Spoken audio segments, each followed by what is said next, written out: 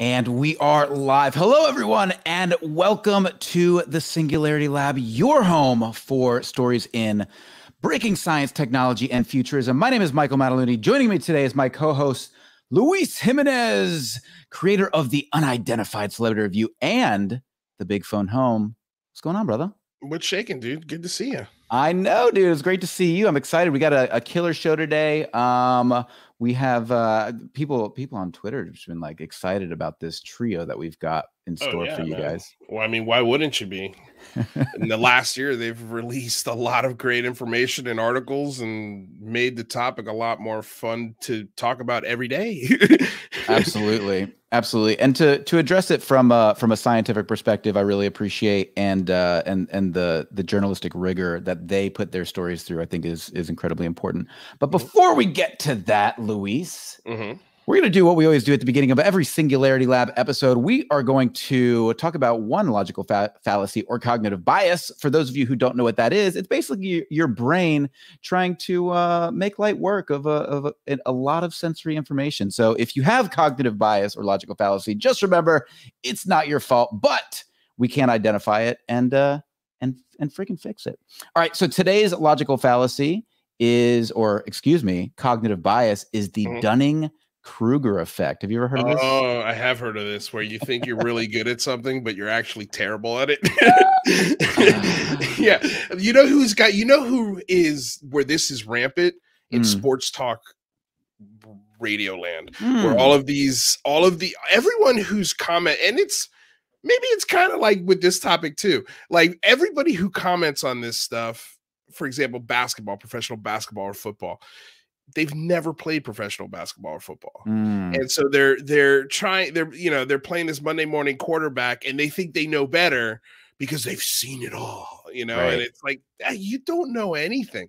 You've never actually had to face down a 300 you know, or 280 pound linebacker coming at you full speed, you know, where you have to make a decision in real time. Like you don't like you don't know you don't know. Well, the uh, same so. thing can be for for Monday uh, morning political quarterbacks, mm-hmm. Monday morning, um, you know, judicial quarterbacks. Everybody, everybody knows everything about everything. It's extraordinary. Yeah, well, people commenting on governments and UAPs and how this is actually going to work, even though none of us have a government job or have ever worked in government ever in our lives. you know. Yeah. Um, but, hey, hey, hey, here we go. Uh, we fun. have a our donation from the meat cutter. What's going on, brother? Glad to be able to catch us live today. Woohoo! Daily reminder to all: don't drink the Kool Aid. Peace and love to you all. I think he's trying to avoid the Dunning Kruger effect. Mm. Um, but we've got a killer show today, and I'm just so excited that you all are here. Akashi Chris, welcome. Matthew Rye, it's great to see you.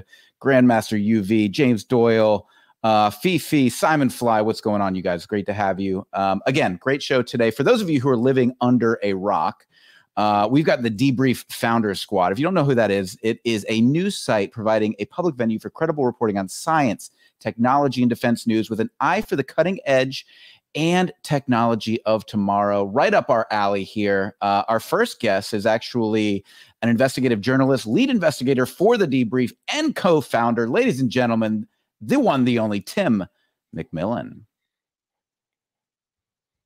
Nope, you're muted, Tim. He'll get he'll get it. He'll get there. He'll get it. oh, sorry. sorry it's, it's 10 o'clock at night over here in Germany. Okay? yeah, why am I the first guest? I'm, I'm a shit show over here. I can't unmute my mic. I literally, you know, it's backstage, so nobody gets to see it, but I'm sliding right in here at 10.01. Like, what's going on, guys? That's, what's shaking? Right. Good. well, we yeah, appreciate yeah, it, man. We know it's late night over in Germany, so it's it's always appreciated when you can join us. Yeah, no biggie, man. I'm always it's always a pleasure to be here, man. This is this is one of my favorite shows. We always amazing. Well, we appreciate it, and um, we're going to bring in uh, somebody who is uh, extraordinarily important at the debrief. Uh, he's also a writer, podcaster, historian, and futurist, co-founder of the debrief. Ladies and gentlemen, Micah Hanks. Micah, what's going on? How you guys doing? Hopefully the audio is okay this time. How do I sound? You sound you great. Sound great. And you look great. That's what yeah. we're aiming for. You know what's funny is I had this entire camera set up for this this time, and I, you know, I got the memo right. You're supposed to wear ties when you're hanging with you guys, mm. I even shot a message over to Tim, but bless him, he's had so much going on. It's okay if he didn't get the memo. We we already have our first disagreement on the show. me- he, he sent me the memo and two minutes ago. Just so we're on the same page. Well, just so everybody knows, it's it's it's not a prerequisite to come on this show with a tie. Honestly, this was Mike's doing. this was all his. Like, this was all his thing. Yeah, I was like, Actually, it was it was like Michael Stone was doing this sh- every show in a tie. I was like, well. I, are we doing ties? Because one of us just can't wear a tie. and he's like, "Yeah, I'm doing a tie." I'm like, "All right, I guess we're doing ties. That's that's where that's where we're going." So that's the birth of that. it's actually funny you mentioned that, Luis, because uh, a little birdie came in my ear uh, quite a while back when I was still um, shooting some shows for the debrief at this, at their YouTube channel, and this gentleman kept picking kept picking at me. What, what you just there's something about it, Mike. You know, every time I come on, I'm like I'm just missing something. It's just there's a certain level of professionality. Maybe you should consider a tie.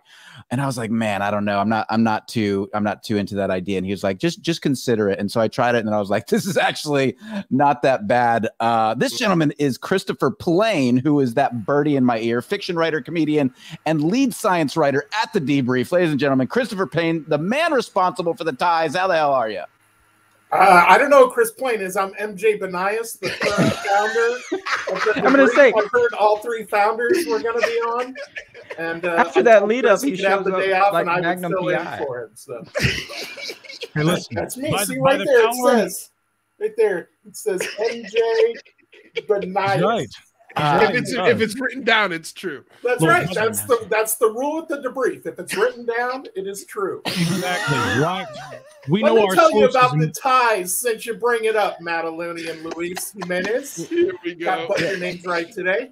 Um, Please, please, you MJ, know, I go told on. Mike back when he was working at the debrief, I said, I have this problem.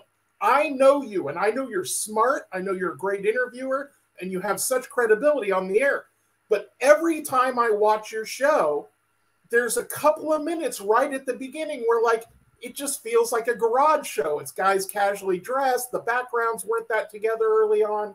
And I said, you need to really you know consider when i when i ran comedy shows i always told the host you wear a tie every comedian wants to dress casual that's fine but the host is the host it should feel like you're hosting a show so i'll admit i'll take credit and guilt for that one i told madeline get an effing tie on you embarrassment i shouldn't have to learn that you're smart over and over again it, it- it's even funnier that you're dressed like Magnum PI right now too. yes After the whole time we Yeah. we're like, we're waiting for you to be in a tux. you yes know? that is my look yes I'm just I'm waiting for I'm waiting to see the Ferrari or the helicopter. I mean, where where do we park those? that's right Right. I It was is. close It, to I, it- it is funny. It is funny, by the way. MJ Banias. The fact that you know you you you are you're so great at giving uh, extraordinary advice, but but it doesn't seem like you take your own. Yeah, well, you know, as I said, the host should be in ties. the guests should be comfortable. So that's the rule. there. It's true. Like And I, would we- like to say, as MJ Banias, my top three things are uh, whatever. That's a top MJ. Also, you start every sentence with either look or listen. So you go listen. All right, look. So those are the top MJ Banias things. And the third one is uh, not showing up for founders shows. So oh, gauntlet! Nice. Yeah. uh, he's got kids. He's got a life. What can I, I, I can't. I I'm, I'm curious to know what the employment status of Christopher Plain will be on Monday. Yeah, right. Exactly. Former debrief writer Chris Plain will be on the will be on the Mataluni show as new guest co-host. oh, oh, wait, did you just give did you just give that to yourself? You might want to run that by MJ. Oh yeah, that's right. By the All right, way, so- I have a question before you. What get is this, the Chris because Plain show? like. Right, what do you mean you have So, a question? I got a question. What is this warp bubble everyone keeps talking about in my Twitter? Did I say something about a warp bubble? you sure somewhere? did. You sure dropped, did. yeah, you dropped a hint uh, several months ago. It seems like at this seems point like, that, right? that you were going like to that that that you had a great piece coming out about a warp bubble, but you know, I haven't seen it, so I don't know if it's true. That's right. That's right. Well, I I can let everyone know that that piece is done. So uh, it will be edited either tomorrow or over the weekend, and you will all see it Monday. That I can finally say. So wow. All right. Yep, the warp bubble piece is coming. Well, and it's can, a real warp bubble. It's can not we- an analog. can we talk to you about it on Wednesday then?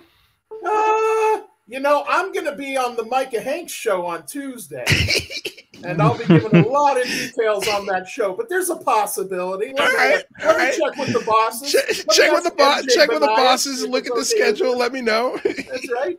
That's right. That's uh, all I'm done. Chris. Bye. all right. so uh, so okay, it's no longer the Chris Plain show. All right, so we're gonna we're gonna, rewind here for a second. Um, I'm I'm incredibly curious about how the debrief, how the Founders Squad actually came together.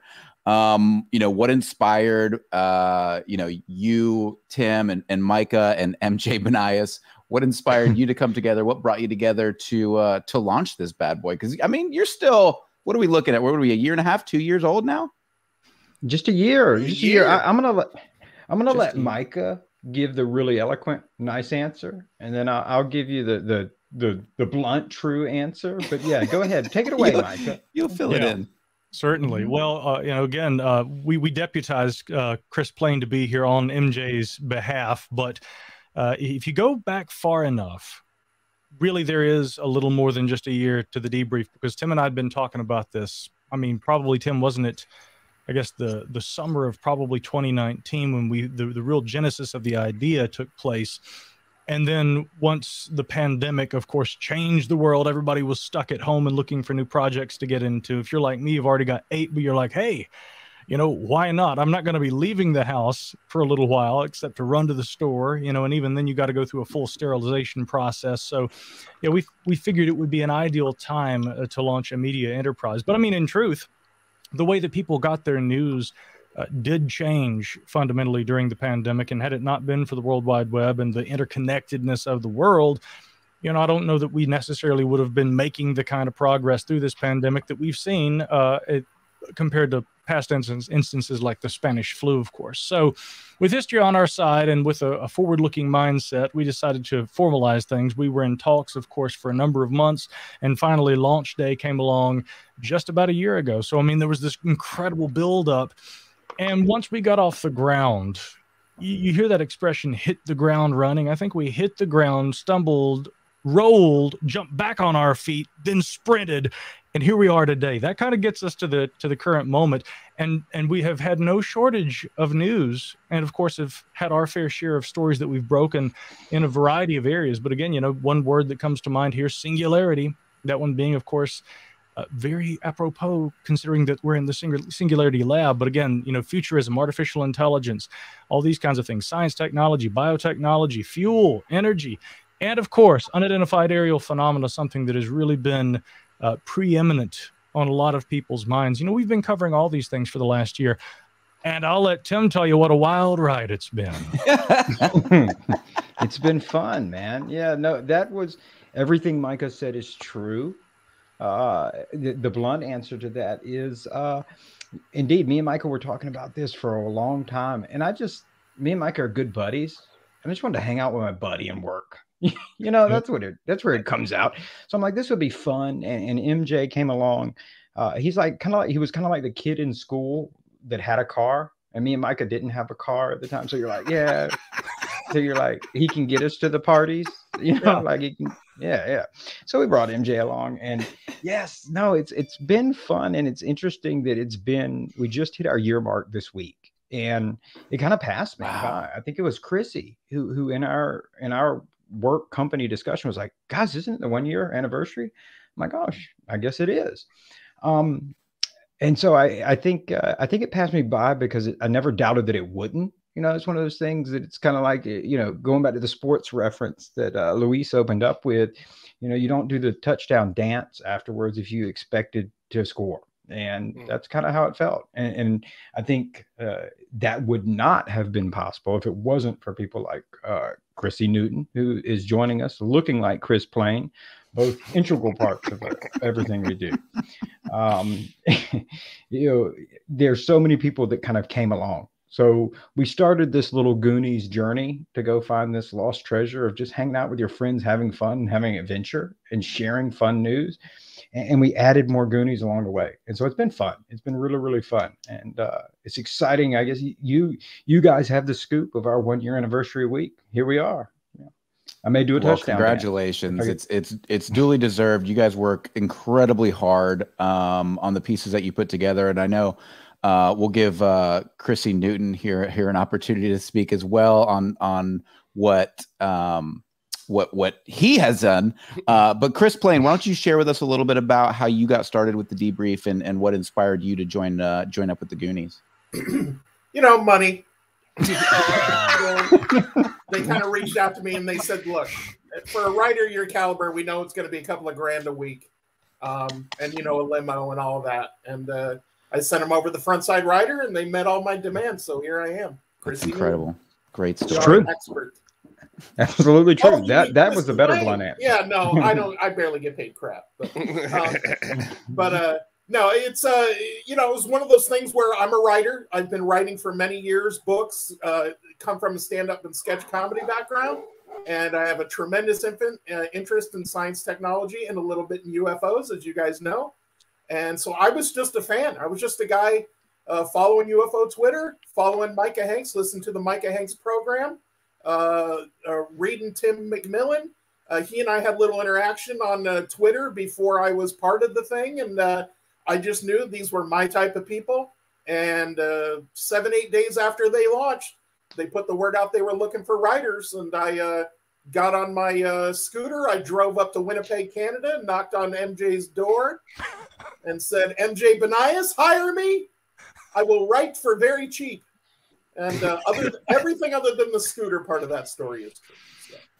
So. That's amazing. That, that's fantastic. Um, and so, Chris, you know, obviously, you and I um, worked together quite a bit while I was at the debrief, and mm-hmm. um, you guys, I mean, what a special chemistry the entire group has. Where do you see? I mean, is this something that you guys want to keep as like a a tight group and then you want to like build it into something bigger or like what what's the direction of the debrief and where do you see where do you see this train headed maybe maybe start with you there micah well, yeah, absolutely. I mean, and first, let me just acknowledge, you know, Mike Mataluni. Uh, once you've been part of Team uh, Debrief Goonies, you, you're always part of the family. So, I mean, you're you're alumni, brother, and uh, there's no better place in light of that uh, than right here, I really think, in terms of celebrating this anniversary. And let me also note, it. like Chris was talking about, was that Chris or Chrissy or was it MJ? He's, he had glasses on a moment ago. It's me, Dad Shop. You look. Oh, I see. I am sure. I'm sure if we merge them all together, it'll be just as a fun acronym as the two offices that just came out of the Pentagon. Exactly. we can come up with something like that. We can, eh, eh, you know, and here's the thing: if you tried to merge those three names uh, whether it was the actual full name or the abbreviation, it would still be more pronounceable than the current DoD UAP investigative group. We'll have plenty to say about that in a minute. Let me let me jump back in time yet again, though, because being a history guy, I, I love to talk about what happened before the debrief, and we should point out that you know, like Chris was saying, you know, Tim's groundbreaking reporting for a number of national publications. MJ Benias was doing that. Those two were even teaming up together from time to time. I was working as a writer and a journalist, and of course, you know, podcasting. And as I've continued to do with my own podcast, you know, report on these kinds of developments uh, coming out of government with regard to UAP and a whole host of other things that we now cover at the debrief on my own shows. So, I mean, we all were covering different areas of media it's not like really the debrief was anything different from what we had been doing, but what led us to want to kind of kick that off and get things rolling was a couple of fundamental realizations. And again, when you look at the history of a topic like UAP, you'll quickly see that there are these kind of growth spurts that occur. There are periods of, you know, incredible, I would say very intense interest that are followed by these kind of you know drop offs. And after the ODNI report that was issued to the Office of the Director of National Intelligence back in June by the UAP Task Force, uh, we saw a little of that. A lot of people were obviously waiting for this report. There was a tremendous buzz. You guys well know that. Uh, once the report appears, you know, opinions on this were mixed and varied. Tim and I, of course, teamed up and did an article that very day that provided analysis. Thereafter, I mean, within just a couple of days, Tim had already done a complete breakdown. You know, I did another analysis in the newsletter the week that followed. And a lot of people, instead of really trying to pick it apart and comb through the details as we were trying to do with the debrief, uh, we're kind of looking at this and going, well, we expected there'd be a lot more. Where's the triangle photograph we've been hearing about, you know? And you did see a bit of a drop off. That's not the first time this has happened. And in fact, going into starting the debrief with all the range of topics we wanted to cover, with regard to that one, UAP, we knew and we had discussed many times there is an eventual uh, drop off that we can probably expect. When that occurs and when the media doesn't want to keep talking about these incredibly significant issues, we want to be that platform that will continue to report on it responsibly. We will continue to bring updates and news that breaks even when, you know, the mainstream media isn't paying attention to this. And so we've kind of placed ourselves as outliers in the sense that we're willing to cover those topics even when the mainstream won't, even when the mainstream has lost interest and they're not getting all the clicks that they're hoping for. And furthermore, we're going to try and do that in a way that brings you a deeper analysis. It's not just rush to get it out. Often, what you get from us is sometimes for days and even weeks after the fact, more and more analysis that gives you a deeper perspective on the news that already broke. That's fantastic. Um, Tim, you want to add anything to that? No, well, what was the original question? Uh, you know, where are we going? Uh, I think, you know, a lot of places, Mike. You know, you know me from behind the scenes well enough to know that, uh, and all the guys know that I, um, I definitely and, and admittedly have a conqueror's mentality. And so, you know, we want to grow this thing. That's why we've never stuck to one thing. I think when Micah first said, Hey, you know, let's do exactly what he just described with just UAP. And I'm like, no, screw that. Let's take it all on. Uh, and I think, uh, you know, we see that in in what we're putting out. And most importantly i'd like to think that we're we are doing a public service not just in what we cover with uap but everything. Uh, you know the world's a crazy place the last couple of years uh, between covid politics. It's been a crazy time and you know, anytime anything feels broken, and in this instance, the world, people start looking for something new, something exciting, and, and that's actually, you know, everybody's afraid the world's going to come to a cataclysmic end. It's kind of the opposite. You know, if you look at history, actually, that's when people innovate. That's when people go land on Mars. That's when people come up with new propulsion. That's when they suddenly, unexpectedly decide they want to start looking at UFOs. Is because you know when everything around you seems chaotic, you want to believe there's something else. And we have this really, we as in human beings have this incredible ability to do some amazing things when we put our mind to it. And so for us, kind of tapping into that cultural climate and realizing stuff like AI, virtual reality, there's going to be some really exponential disruptive kind of breakthroughs coming you know the next 10 20 years is going to look dramatically different you know we may uh, be doing this show 10 years from now, all with our VR sets, looking like we're sitting around the campfire and, and, and not being able to distinguish that we're not physically there with each other. And so we, you know, I want to to try to drive the debrief to being that focal point where people know they can get a handle of what's coming on. So maybe the future seems more exciting than it does scary because the unknown in future likewise scares people. So that's you know where we're going to go. Um, we're going to keep growing things and we'll be doing a year two show with you guys. We'll be doing a year three and, uh, how big and great that is, we'll see. You know, hopefully it will be with Chris Plain pulling up in his limo. You know, we'll see. um, hopefully, actually, I think it'll be funny if Chris Plain is actually driving the limo and MJ Banias is uh, cleaning it up in the back. That would actually be. It would. I'm surprised. MJ in the limo we we don't let MJ in the middle. Think, I, let me okay, go for oh, it. Go ahead. No, no, go ahead, Luis.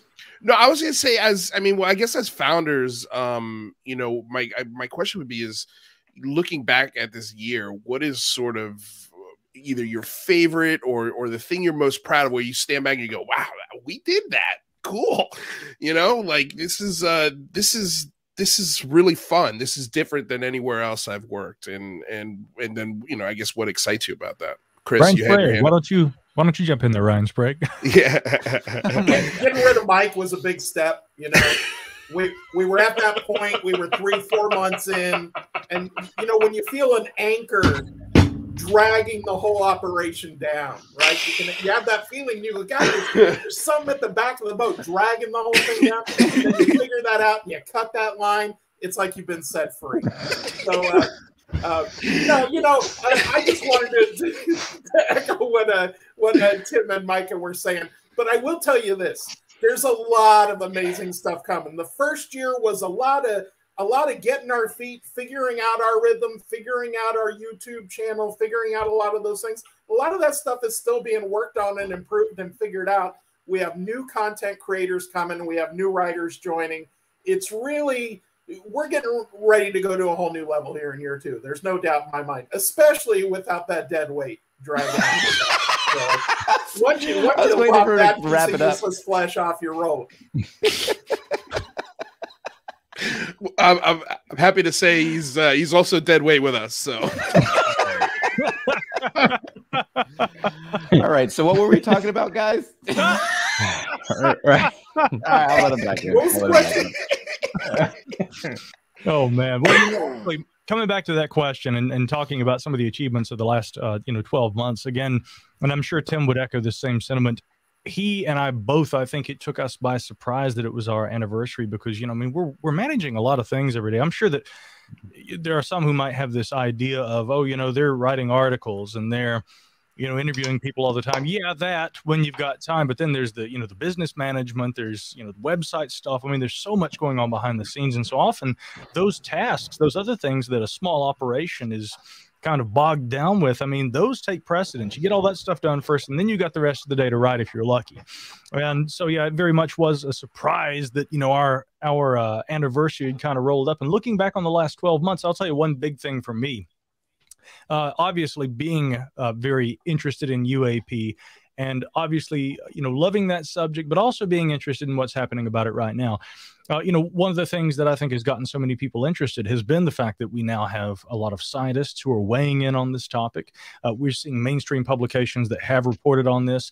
And I take a lot of pride personally uh, in the fact that the debrief has actually showcased the work of some of those scientists, of those reporters on our own publication. I mean, Leslie Kean and Ralph Blumenthal, two of the co authors on the initial story that broke in 2017, they have been contributors here at the debrief. And also Harvard astronomer Avi Loeb, who has founded the Galileo Project. Avi, I think, has done what two pieces for us now. And to have a Harvard astronomer who's willing not only to look at the UAP issue, but also to write for our publication, really, um, it is humbling. And it is also, I think, an indication of where we hope to go with the range of topics that we're covering. And i can guarantee you there'll be plenty you know plenty more in the months ahead the years ahead in fact. But that's definitely been a huge takeaway for me seeing how we went from completely bootstrapping on day one to now having some of the very names who have changed the debate with regard to that subject. It's it's just incredible. Yeah i mean it's truly amazing. Tim you had something yeah, no, I was just going to say, yeah, Micah, Micah took probably one of my my you know the biggest achievements this year w- was seeing that. Some of the people like Avi Loeb and uh, Ralph Blumenthal, people like that, reaching out to us, and that lets you know that you're you, you are achieving the goal you set out to achieve, which was be a credible outlet that, that people can turn to, and, and I think probably in year one, that moment when I'm like, yes, we did what we said, one of the goals that we set out to achieve uh, was very early on. You know, uh, I had been covering uh, UAP stuff for Popular Mechanics and Vice. Mike has been covering it for years on his show. MJ was covering it for Vice. And, uh, you know, I said when we started this out, you know, I want to cover this topic, but let's cover it legitimately, seriously, just like you would any other topic. And, and for me, you know, my, my kind of specialty is from that uh, government, national security kind of aspect, uh, that background. And I said, let's cover it just like it's any other national security topic uh, without all the little green men jokes and woo woo. And, and, let's go after it. Same thing with sources, you name it.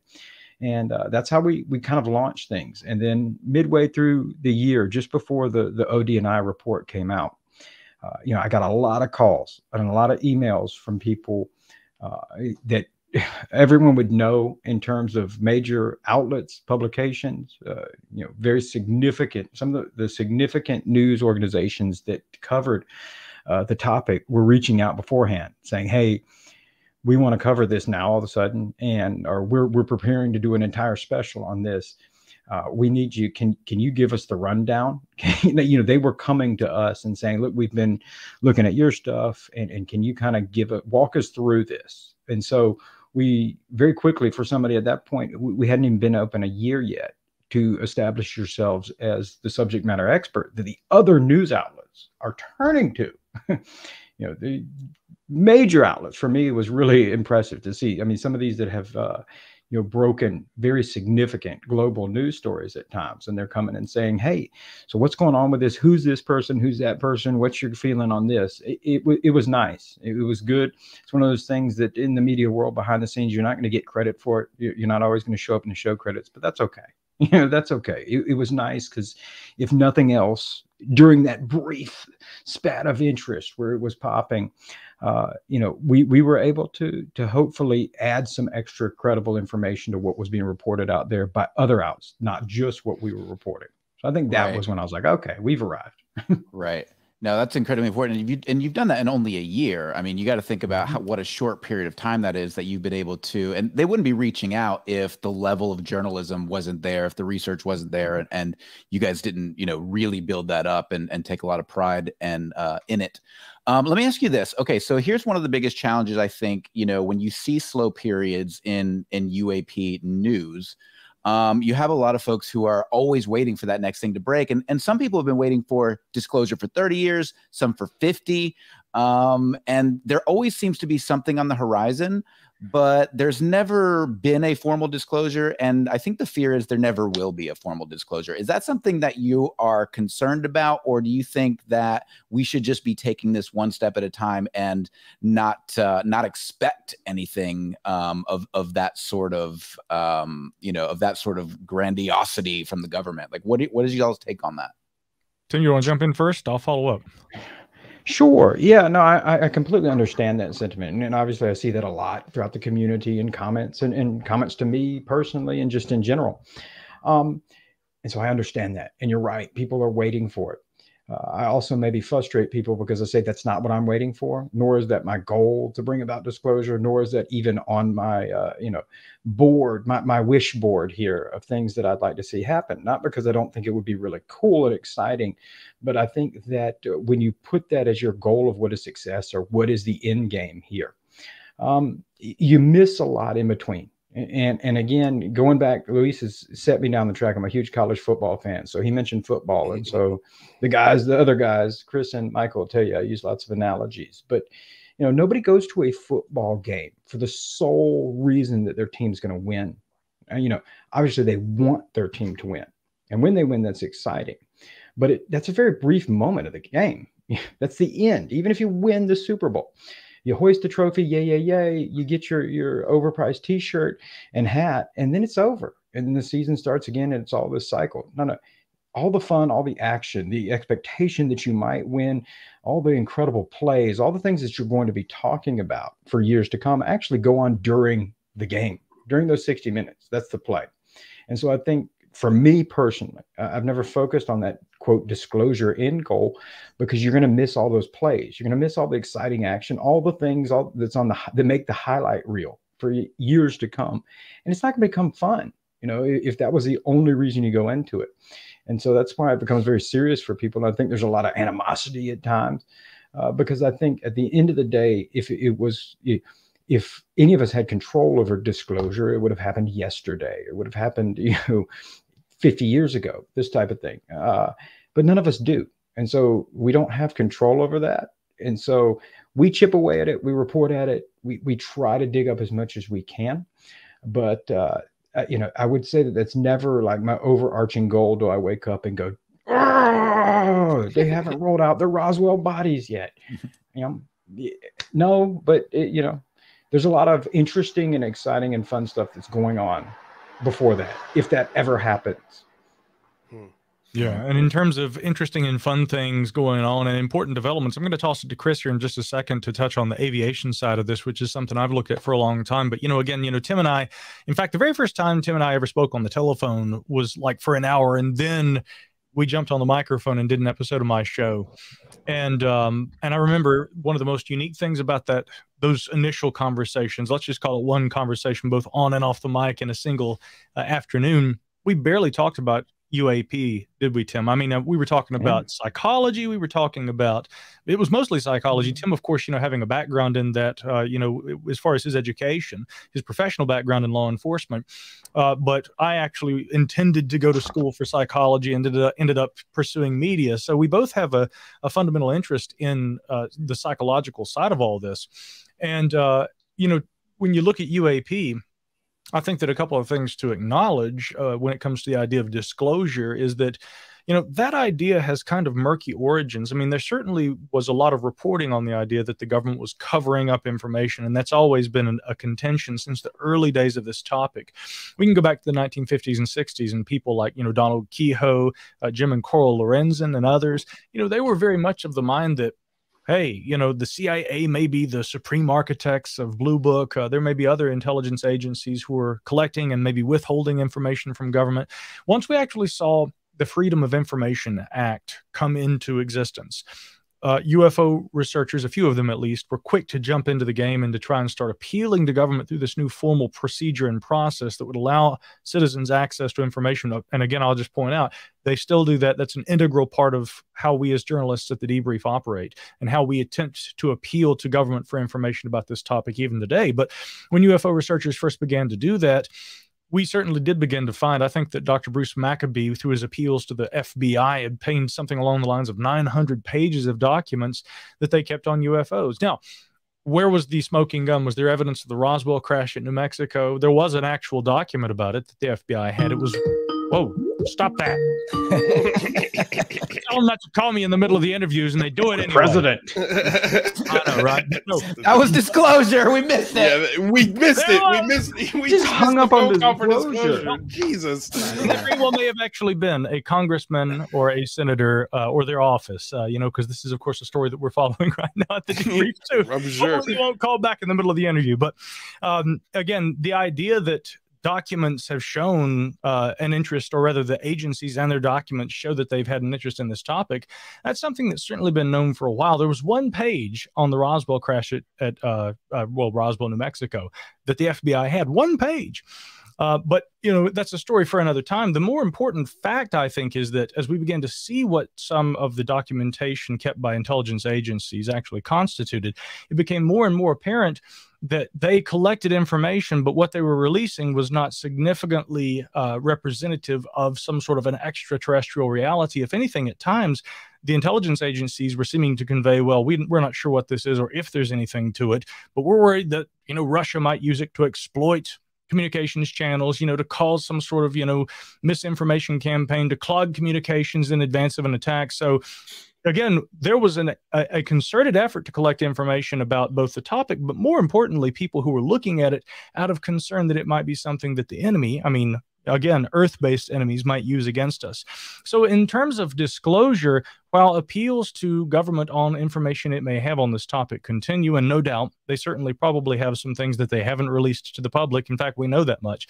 Uh, the question of what that is, I think, coming back to psychology is important because you have to recognize there's what people expect what they hope for, what they want to see, and then there's the reality. And I've always said, and again, this kind of coming back to Tim's point, if you go in search of what you expect to find, when you get the reality, when the truth is revealed, if it's not what you hoped for, I think what you see is people's, like what we saw with people's reaction to the ODNI report in June. Is that all there is? We expected more. Well, of course you expected more, but that's the difference between the disclosure you hoped for and the disclosure you actually get. Now, what really interests me is how we have begun to see aviation professionals, scientists, you know, congressmen and women getting involved. Chris Plain did some excellent reporting on the aviation community, professional aviation community, and how they are now responding to the UAP issue, which has to me been a landmark. Chris, you want to talk about that? No, what a setup! Really. Just just tossed it right to him yeah. on a tee. not really. No. no. um, yeah. All right. Well, all right. well, maybe Frank wants to talk about it. I'm not Here's what I want to talk about. All right. First of all, quit turning my microphone off. That was you Chris guys. It's not my, listen. Listen. That was Chris that your, your room has a very strange ambient sound. I don't know oh, what's going it? on. It sounds like a fan or something is going on in there. So that's why I, have been oh, just muting okay. it to get better sound. Don't take oh, it personally. totally quiet in here. Yeah. um. Yeah. You know. Uh, here's what I want to hear about. We got Tim and Micah here for like 25 more minutes before they got to go, right? You're going to have me for the whole second half of the show. So I'll go on and on about that. I want their take on the Gillibrand Amendment and then uh, and on the, the the the office out of the DoD and, and, which one should we be rooting for? Should we be rooting for both of them? Neither of them? I I I'm dying to know here. And I, I talk to these guys at work all the time, but as they pointed out, we're talking about work. We, we talk about what we have to do, not what we want to talk about. So I'm mm. dying to know these two guys' take uh, on that. And then in the second hour, uh, I'll drone on about the AIAA plenty. All right, Tim. Tim, he wins. He wins. That was a much better handoff than either of you, uh, either of us did. I mean, he he wins. I got to hand it to him. Good job, Chris. and just for just for further context, so you actually and so Lou Elizondo came out um, and was uh, uh was disappointed in the uh, I believe it's the AOIMS. AOIMSG. Um, and, uh, and and I saw Tim. You had you had similar concerns. You want to you want to tee us up for that?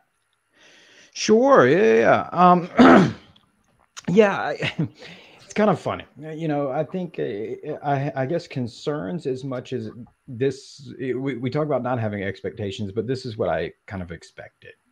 And uh, you know, people are wondering what's going on. Like, why have you got now? You've got this really broad, robust amendment, but then you've got the government, you know, the DoD coming out of the blue with this other, you know, really watered down kind of expectation what they're going to achieve. And people are like, what the hell's going on? Is it the cover up? Is it the, you know, whatever? No, it's it's it's the government. the government is happening. And, you've heard me probably say this both on Twitter, I may have said it last time I was on your show, is people are getting a crash course in how the government actually works. And uh, it, it's not pretty. and, and I hate saying that, but and I think to to some degree, you know, the UFO community, some of the some of the more well-known researchers or authors at times have, have done a bit of a disservice because they've given this picture that the government is capable of this coordinated effort in anything. Uh, and that's not really the case. Uh, probably one of the best examples uh, to give you an, an idea of what's going on here. And i talked to this a little bit about with the guys and, and girl chrissy last night. Um, you know, did anybody read the psychology today article that was published? Was it yesterday or the day before Micah did. I don't think I did. Where was where was it published? Psychology Today. Okay, then no, I that didn't read it. No, yeah, I, did, no, I didn't. I missed. It. Okay, one. well there you go. UFO Twitter. You're you're dropping the ball. There was a exceptional article done uh, in you in Psychology Today uh, about UAP and, and, what it could mean in terms of new science and everything. Uh, the author of that article was Dr. Eric Haseltine. Dr. Haseltine is a brilliant man. He, he once headed up uh, Disney's Imagineering, uh, and then he was the chief science and technology officer for the Office of Director of National Intelligence, ODNI. Uh, he was essentially the chief technology officer for the entire intelligence community. So, very brilliant guy for a long time. And he wrote a great article there, but he also wrote a great book a couple years ago and I loved it. Now, don't get me wrong; it's kind of right up in my alley. Uh, it may get too technical for some people, but it's called uh, "The Spy in Moscow Station," and it tells this fantastic story. And if you want to understand how the government works, it's a great insight into how it works. And the short of the long there is a very true, real story of events that happened in 1978. The the NSA. Uh, discovered a uh, Soviet bug inside the embassy in Moscow. Okay. When I say discovered it, they found it, they removed it, they physically had it. It was an RF receiver hidden in a chimney inside the embassy. Um, they said that uh, the Soviets are listening to all of your communications. They told the CIA this and the State Department. And in fact, uh, the CIA had had uh, Russian agents killed during this time because of it. And the CIA and the State Department said, We don't believe you. Hmm. and they had it in front of them. Like they could have showed it to them. Eh, no, we don't believe you. And the NSA pushed it, and there was this big turf war. And I'm not going to get in the weeds of this book, but you really get an idea of how it works. Where you're like, why are they fighting this? Like, it's isn't everybody supposed to be on the same team? Like, why is there this resistance here into this idea that the Russians are spying on us? And the CIA was adamant about it, and the State Department was adamant about it to the point where they got a, a executive directive telling the NSA stop mentioning it. Stop talking about it because, you know, we don't want people, we don't believe you. And this went on for five years until the NSA was eventually, by uh, order of President Reagan, allowed to go in, remove a lot of the property that was in the embassy, found the bugs, discovered, and said, They've been listening to you this whole time. So for five years, from the point they found it, and for five years, all right. Wow. And there was so much resistance to this, and so much craziness, and even at a point when the NSA had difficulty finding these bugs, they they actually thought that uh, this maybe the CIA removed them so that they wouldn't find them to cause friction. In fact, when the NSA technician went to do the inventory, the CIA tried to get him drunk and, and had Russian prostitutes because they wanted to know what he was doing there because it was so compartmentalized. They, they, it was that point of covert option where only the NSA knew. Now, picture that in perspective to UAP. okay? Picture that in perspective that now, you know, adversaries spying on you is a real thing they all know that's a real thing. It goes on. We spy on other countries, they spy on us. But imagine the resistance to the idea that the Russians or the Soviet Union was spying inside the embassy when you had the proof and evidence. So the US government is a sprawling complex. And now what you're seeing is that the UAP subject is not going to go away per se, and they're kind of acknowledging it. So you're going to see a lot of infighting here, as in who controls the topic. And, and you, you that's one of the things in that whole uh, that caused so much friction between the CIA and NSA is whose job is it? You know, they all say, well, NSA is their job isn't security, so screw them. And it's like, yeah, but this is going on. And so you're going to see this now. And you're going to see this now with this idea. Okay, well, fine. If you're going to make, if if you're if you're not going to let this go away, and somebody's going to look at it, well, then it's our job. But then you're going to have other agencies that are like, no, this is my job. And others are going to say it's my job. Because at the end of the day, nobody wants to get embarrassed. and say, oh, yes, this is really something. Uh, it, when it when it could when technically it should have been their job and if nothing else i think probably one of the most fascinating things for me and maybe it's not as frustrating because it's fascinating to me to watch this process is i can't think of a more complex problem to watch a government have to solve and hmm. especially one like the us government because it's everything is so segmented and compartmentalized where different agencies fall under different branches they have different jobs but you look at the uap subject that is something that is government wide and it is a mysterious problem that frankly the us government is not equipped to handle. And so it's interesting to watch how they're they going to handle that. Because the dod i think a lot of people when they saw that i'm not going to attempt the acronym I, i've forgotten from memory i don't want it. Uh, you know, they they cried foul that they were only going to look into military ranges and ranges under military control. Well, that's because by federal law, the Department of Defense only has limited power. They don't have the power to operate on U.S. soil, except under very, very strict circumstances. So they don't have authority. So then goes into, well, some of this authority bleeds into the Coast Guard. Some of this bleeds into the FAA. Some of this bleeds into Homeland Security. Some of this bleeds into the FBI all everyone I just named all fall under different executive branches. So when the, the Secretary of Defense can't tell the FBI what to do, can't tell the FAA what to do. Likewise, none of them can tell. But to comprehensively look at that, you've got to get all of these agencies that aren't equipped to look at it. They, they don't work together as is. And in, in many instances, they work against each other. They're in competition with each other. But they've got to work together to try to solve that. Now, tackle on the fact that every taboo that you can think of in anything, any conversation that you've had about the subject with anybody who's not from the UFO community, maybe they've just seen the, the New York Times article or something, or, or they've read an excellent and informative piece on the debrief, uh, and you're trying to explain it to them, and, and they're they're like, "Oh, that's BS." Those that's now imagine the government. Just multiply that. So you're going to have people that are like, "This is BS." the infighting and squabbling, and even if, let's say, the, the Gillibrand Amendment passes, um, who, what office is going to take that authority is something to really look at. But I did. I, I said that you know w- when I said my concerns, it was more of a people are about to get a crash course into this UFO problem, and then because of how robust, how how structured that amendment was, um, it, it, wouldn't shock me to see not just the DoD, but you're going to see all these other people be like, "Oh, well, hell, well, we're starting one too." Because we're not going to be outdone, and everybody's going to try to muscle in this, and it's going to end up in this really interesting dynamic where a year ago people were upset because the government wasn't taking the topic seriously at all. Hmm. Now, fast forward, we're upset because there's too many people saying they're going to look into it.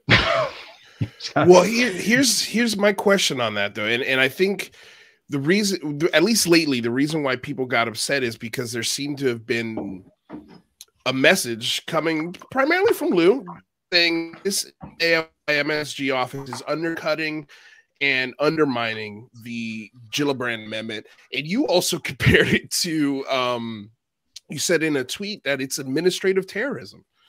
Um, and so people heard that and they're like, what's going on? And then when you dig deep into it, when you just simply dig into it, you find out that, oh, wait a second, the DOD has no jurisdiction over this this mm-hmm. bill. So if this bill becomes law, they really can't do anything. And it seems by the statement by Kathleen Hicks that this office that the DOD is creating, they're doing it without anyone's permission. They're doing it just because they can. Um, and I think you're sort of this idea of, well, they're not going to be the only ones who look at this. We're going to look at it too. Um, and so I guess my question is, why is this administrative terrorism if this office really can't do anything to if this law passes, if the Gillibrand Amendment goes through, which maybe we find out tonight if it could have happened already as we were on the show. Um, but if that can you explain a little bit as to why that's sort of the feeling with with this new office? Because six months ago we would have been all aboard for this. We would have been absolutely filled with an office like this and um and it seems like for me more data is more data i don't care where i'm getting it from if we're going to get more data from different sections of the government great maybe we could paint a better picture with that data um, or we could get at least a little bit more clarity for the american people as to what exactly we're dealing with here so um so yeah i mean can you touch on that a little bit Sure. Yeah. Yeah. No. And, and I, I, it's one of those things where I said it and didn't realize after in, until I said it that uh, people might not be Twitter familiar with the term. Yeah.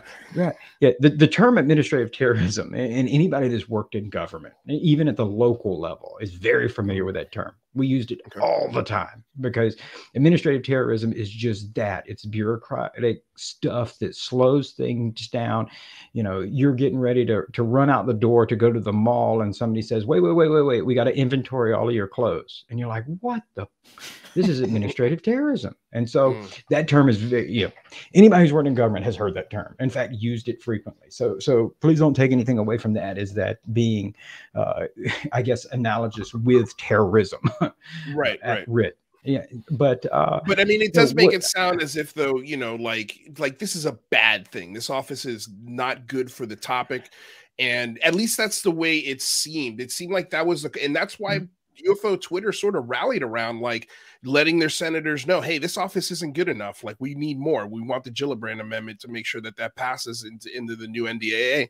Um, but it, it's you know you know what I'm saying. I just I think part of there's there's a part of a little bit of fear here that want to do. like want to be used to construct a narrative or a message like that was going to be like a follow-up question in a second was is there is there anything with this amendment or with these new offices that you might see as like as maybe not good for this topic? Is there anything that we're just not reading correctly or we're not deciphering mm-hmm. properly? Is there anything in the language of the bill that maybe worries you that hey this is actually going to do worse for the topic not better well, I think the biggest concern, and I think that's what Lou Elizondo, I haven't read everything he said or listened to it, but I think yeah. that uh, when he, he was upset about it is because he's been in that system and understands kind of what's going on. And, and the other thing is that it, it is, everyone is correct in saying that the release of that information uh, very much was, it, it, had a lot to do with the Gillibrand Amendment, you know, the timing of it and everything. I think everybody could recognize that even though Kathleen Hicks had said, we're going to do this, uh, you know, I believe the timeline initially was six months and it's been five months and they come out with it. The government does nothing early. okay. They do right. nothing Nothing so you think early. it was a, you think the ODNI this was a direct response to the introduction of the Gillibrand Amendment? Sure. I think that, the phone calls, phones started ringing when that went out, it hit the airways and everything. Uh, people were saying, Hey, what are we doing with our stuff? What are we doing with our stuff? We don't want to get caught with our pants down. What are we doing? In addition to the fact that you've got the uh, Office of the Inspector General digging into it too. So there's a lot of CYA going on. Mm-hmm. A lot of people are trying to mm-hmm. cover their ass and, and, they're trying to say, you know, again, like I mentioned, nobody wants to get caught with their pants down where right. they haven't been doing everything. So the idea that ODNI is going to take over this massive office and have all this jurisdiction and then prove all these things that the DoD hasn't been doing well does not sit well with the DoD. So they're like, whoa, whoa, whoa, whoa. If nothing else, we need to know what's going on within our jurisdictional bounds uh, so that we don't look like a bunch of clowns here uh, you know, with no answers if this other agency has answers. Now, one of the beyond that, Tim, I, do you beyond that, Tim, do you think there's actual information that they're they're trying to get a handle on and bury prior to the Gillibrand Amendment? Do you think that's a possibility, or are we really just talking about, hey, we're just trying to cover our asses here? It, it, really depends on what the executive offices think. Now, I can say that if it was going out of the Undersecretary of Defense for Intelligence office, which is uh, Lou Elizondo's former office, I think you've seen the pushback that he's offered. I think he, he is a good indication of how he feels they view the topic and how their uh, reports, their analysis, and, and going into it. it. You know, going back to something uh, Micah said earlier, if you you know go with this expectation of what you're going to find, you often find it, and so the expectation of that office, by all accounts, from everyone that, that I've spoken to, uh, is that they want to find BS, that this is not something that they need to be exerting time, effort, and money on. And so, therefore, uh, the idea that that's going to be their outcome, uh, it could be very highly likely because that's mm. what that you know they don't. I think the Department of Defense at large has really made it abundantly clear, uh, not direct statements because they don't like talking about it, that they don't want to talk about this. They don't want to deal with right. this. Whereas some other agencies do. Uh, you know, ODNI has has taken the lead. The Navy has taken the lead. So one of the concerns there is when in having these fragmentations. So you, you see that uh, the DoD has their UAP office. Well, ODNI is like, screw it, we're still going for it. And Space Force says, hold my beer.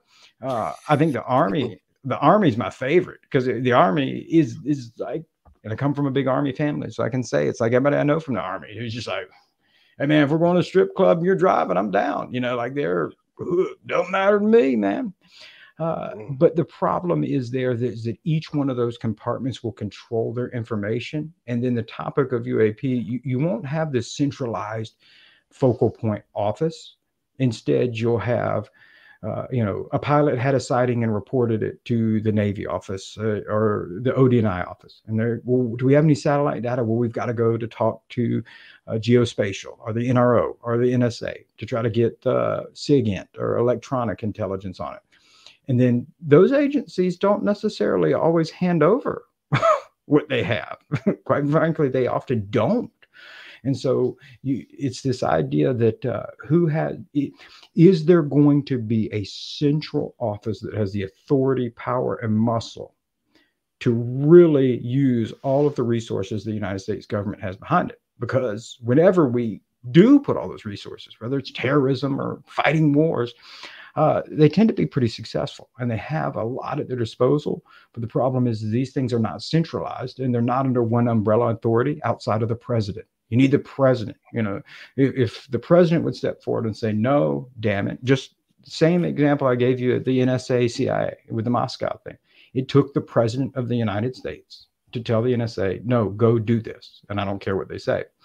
So I think that's part of the concern is that if you've got a ODNI office, you've got a DOD office, and, and you've got these other offices, is that they will each be examining the topic from whatever is within their purview. And when right one doesn't share with the other, then it's never you're going to have MUFON and all these other things. You're going to have these competing. It's going to turn into UFO Twitter uh, in the government.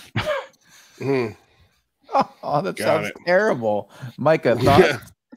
Let's see here. I've got I've got 17 seconds left. So, oh, I'm kidding. Uh, in fact, we're gonna have to roll over uh, uh into the top of the hour because uh, yeah, I have plenty to say. And again, Tim really has kind of given us you know the the the, the full scope of the issues that government is facing right now to an extent you know i've got to kind of sympathize with uh, any element within the government or if we even want to refer broadly to the military having to be tasked with trying to resolve an issue that, let's face it, they've been looking at for more than half a century and haven't been able to resolve. When we talk about how, as Tim mentioned, some agencies seem to be more willing to chime in on this and more willing to weigh in on the topic like the Navy has been, uh, whether that is necessarily by choice or it is by uh, virtue of the fact that other agencies simply won't, the Air Force dealt with this in the longest running systematic military study by the U.S. government, Project Blue Book, between the 1950s, early 50s, and 1969. And they remained stone silent uh, at every opportunity uh, for for decades thereafter, with a couple of notable exceptions after the closure of Project Blue Book. Uh, again, at the request of congressmen and women back in the 1990s, because there was a lot of public interest in the Roswell crash at New Mexico, uh, and this in part due to books that were being published on it, television shows like Unsolved Mysteries that were kind of reinvigorating the debate. A lot of people were like, "What's really going on here?" And so the Air Force kind of had to get back into the game there for a time. They produced a couple of official documents documents and did their own investigations, which offered not one but several, you know, different explanations for parts of the Roswell mystery, um, which raised a lot of questions for people. One being, okay, well, which version is the definitive narrative because they had said that everything from crash test dummies to charred bodies in an airplane crash to um, Project Mogul and you know high altitude balloons that were used during the Cold War. I mean, a range of different things put together over several years constituted the, what was remembered or misremembered as the Roswell event. The reason that that's important is because people look at that and they go, well, first of all, which is the narrative? Or how can we take this seriously given that we first heard, of course, that it was a flying disc, then it was a weather balloon. Then they say it was a mogul balloon.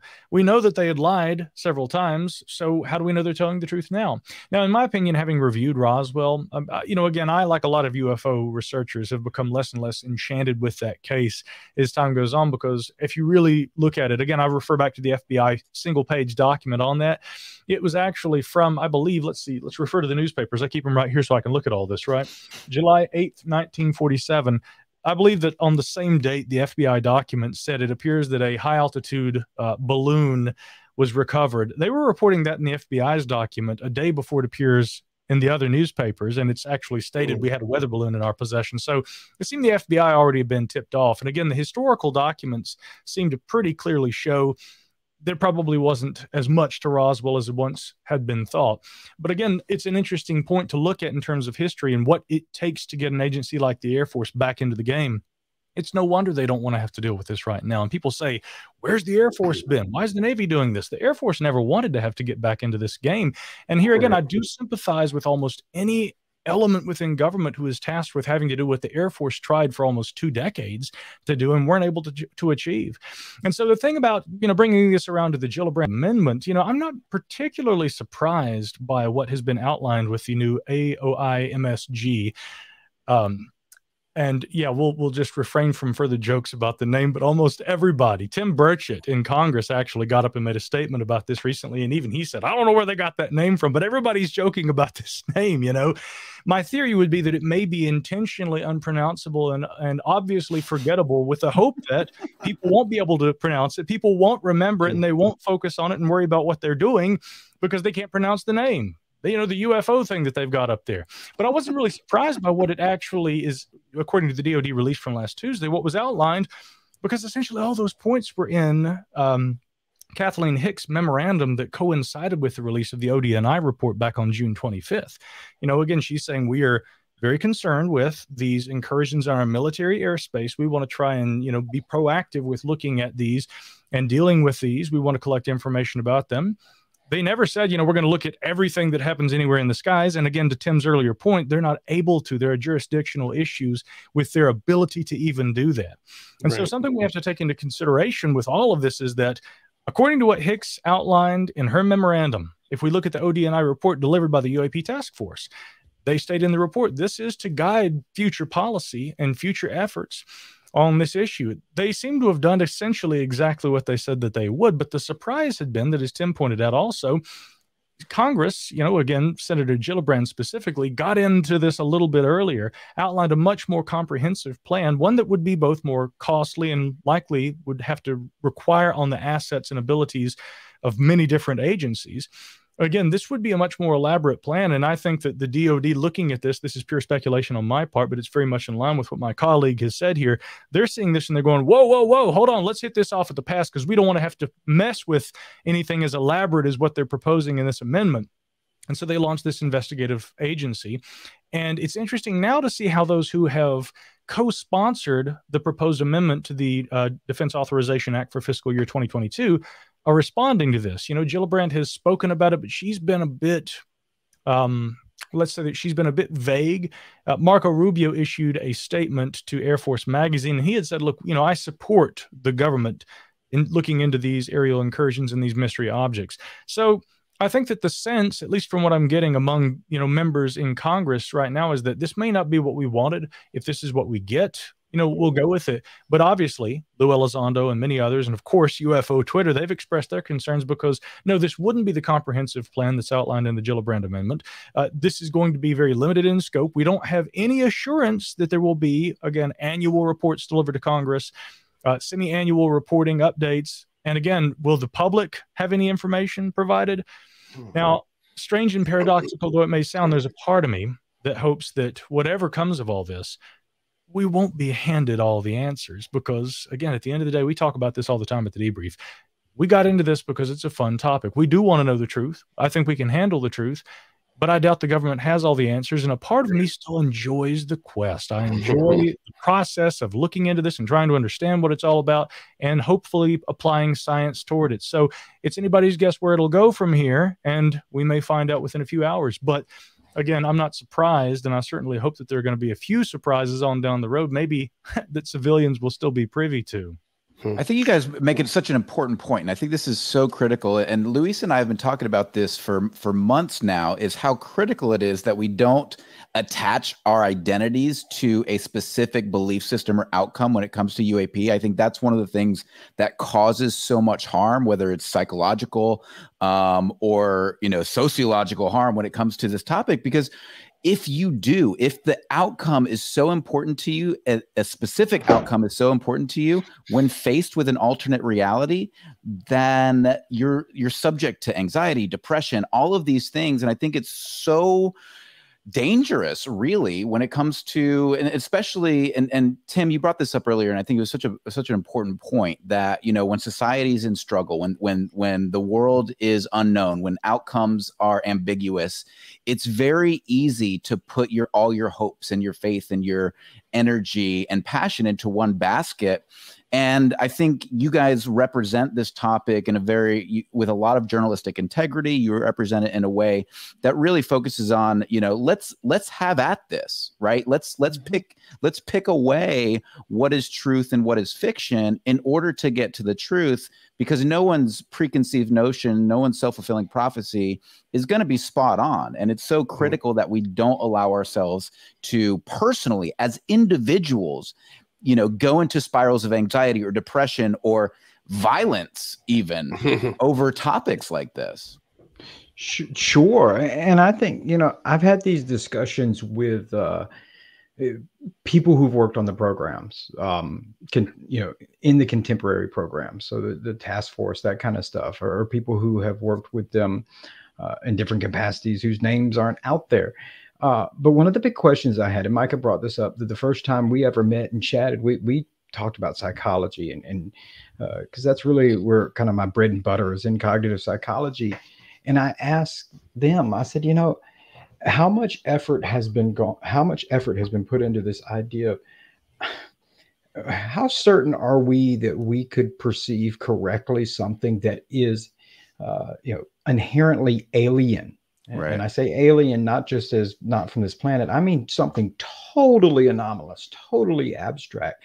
And there's no guarantees there. And I think that this idea that uh, we could have it right is actually probably pretty wrong because we can only draw on what knowledge and information that we have available to us. You know, what we can read in a book, what we've been told, we can all imagine a dragon because we've seen movies by it we've had them described to us. But but something that is just totally you know outside of a you know, total anomalous discovery what is the expectation that we could perceive that correctly? And i don't you know there isn't any. You know if we don't have the language to describe something you're not going to be able to describe it. And so that's an interesting aspect of all of this because we it, is such a fleeting topic. I, mean, I think you know that would be one of the uh, cornerstone tenets of this topic is it's always just a little bit you know maybe it's a fleeting glance of something or it's you know, a very intense experience but it's not captured on video or audio and all these different things. So it's never this full picture of what we define as being true factual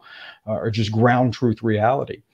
And so you know what does that mean about it? I don't know other than perhaps there is aspects of this it's very difficult for us because we don't we can't perceive what's going on. And so to, mm. to your point, Mike, absolutely. You know, there there is this idea that if we encounter anything truly anomalous, uh, we're not going to have the the knowledge base uh, existing. We're all going to be Dunning Kruger here. You know, we're going to believe that it's something, but uh, there's nothing that says that's what it is. So yeah, if you put all your eggs in, in one basket, um, you're right. It, it can cause a lot of distress, both on yourself emotionally, psychologically, and just in general. Uh, and so, part of that fun uh, of long as there's an unknown, it can be anything. And so that's kind of fun, you know. it is fun to me, and so let enjoy that aspect of it. Because even if aliens flew in, there's really we have nothing on our plate here that says we would see them, understand them, or even comprehend it because it would be alien. Right. totally right. abstract. right. Um, real quick, just I wanted to go back to what Senator Tim Burchett said yesterday on the floor. Um, just touch on it because he did kind of mock the name of this new office, but then he also the, yeah. After you do that, Luis, we yeah, gotta let these guys go. Yep, absolutely. Um, after but then right after that, he wrote a letter uh, to um, Ronald S. Moultrie, the Undersecretary of Defense for Intelligence and Security, uh, basically thanking him for this new office, and then, and, but also saying, um, you know, I'm I'm requesting that the AOI MSG uh, brief members of Congress on their findings in a classified setting, followed by a public hearing, which means we could worst case scenario maybe get some public hearings out of these offices. What do you think that would look like? and could we trust this office to provide the American people with witness, you know, would we get David Fravor and Alex Dietrich in a public setting like that from this office? Do you think? I highly doubt it. I think when they're talking about public hearings, we would see uh, something consistent with what we see all the time with the public hearings, uh, especially the national security public hearings, where you have an agency, the, the, the head of whatever agency comes and briefs Congress publicly. And uh, they're oftentimes um, not all that informative. you know, if anybody anybody else is a nerd like me that watched the the 2021 national threats uh, hearing where they have all the heads, the CIA, the NSA, ODNI is all there, and they all brief what are the big threats. Uh, you know, one of the ones that obviously came up was COVID. You know, it's questioned, well, do we know where COVID came from? And uh, it's this, uh, well, we, you know, it could have been this, it could have been that.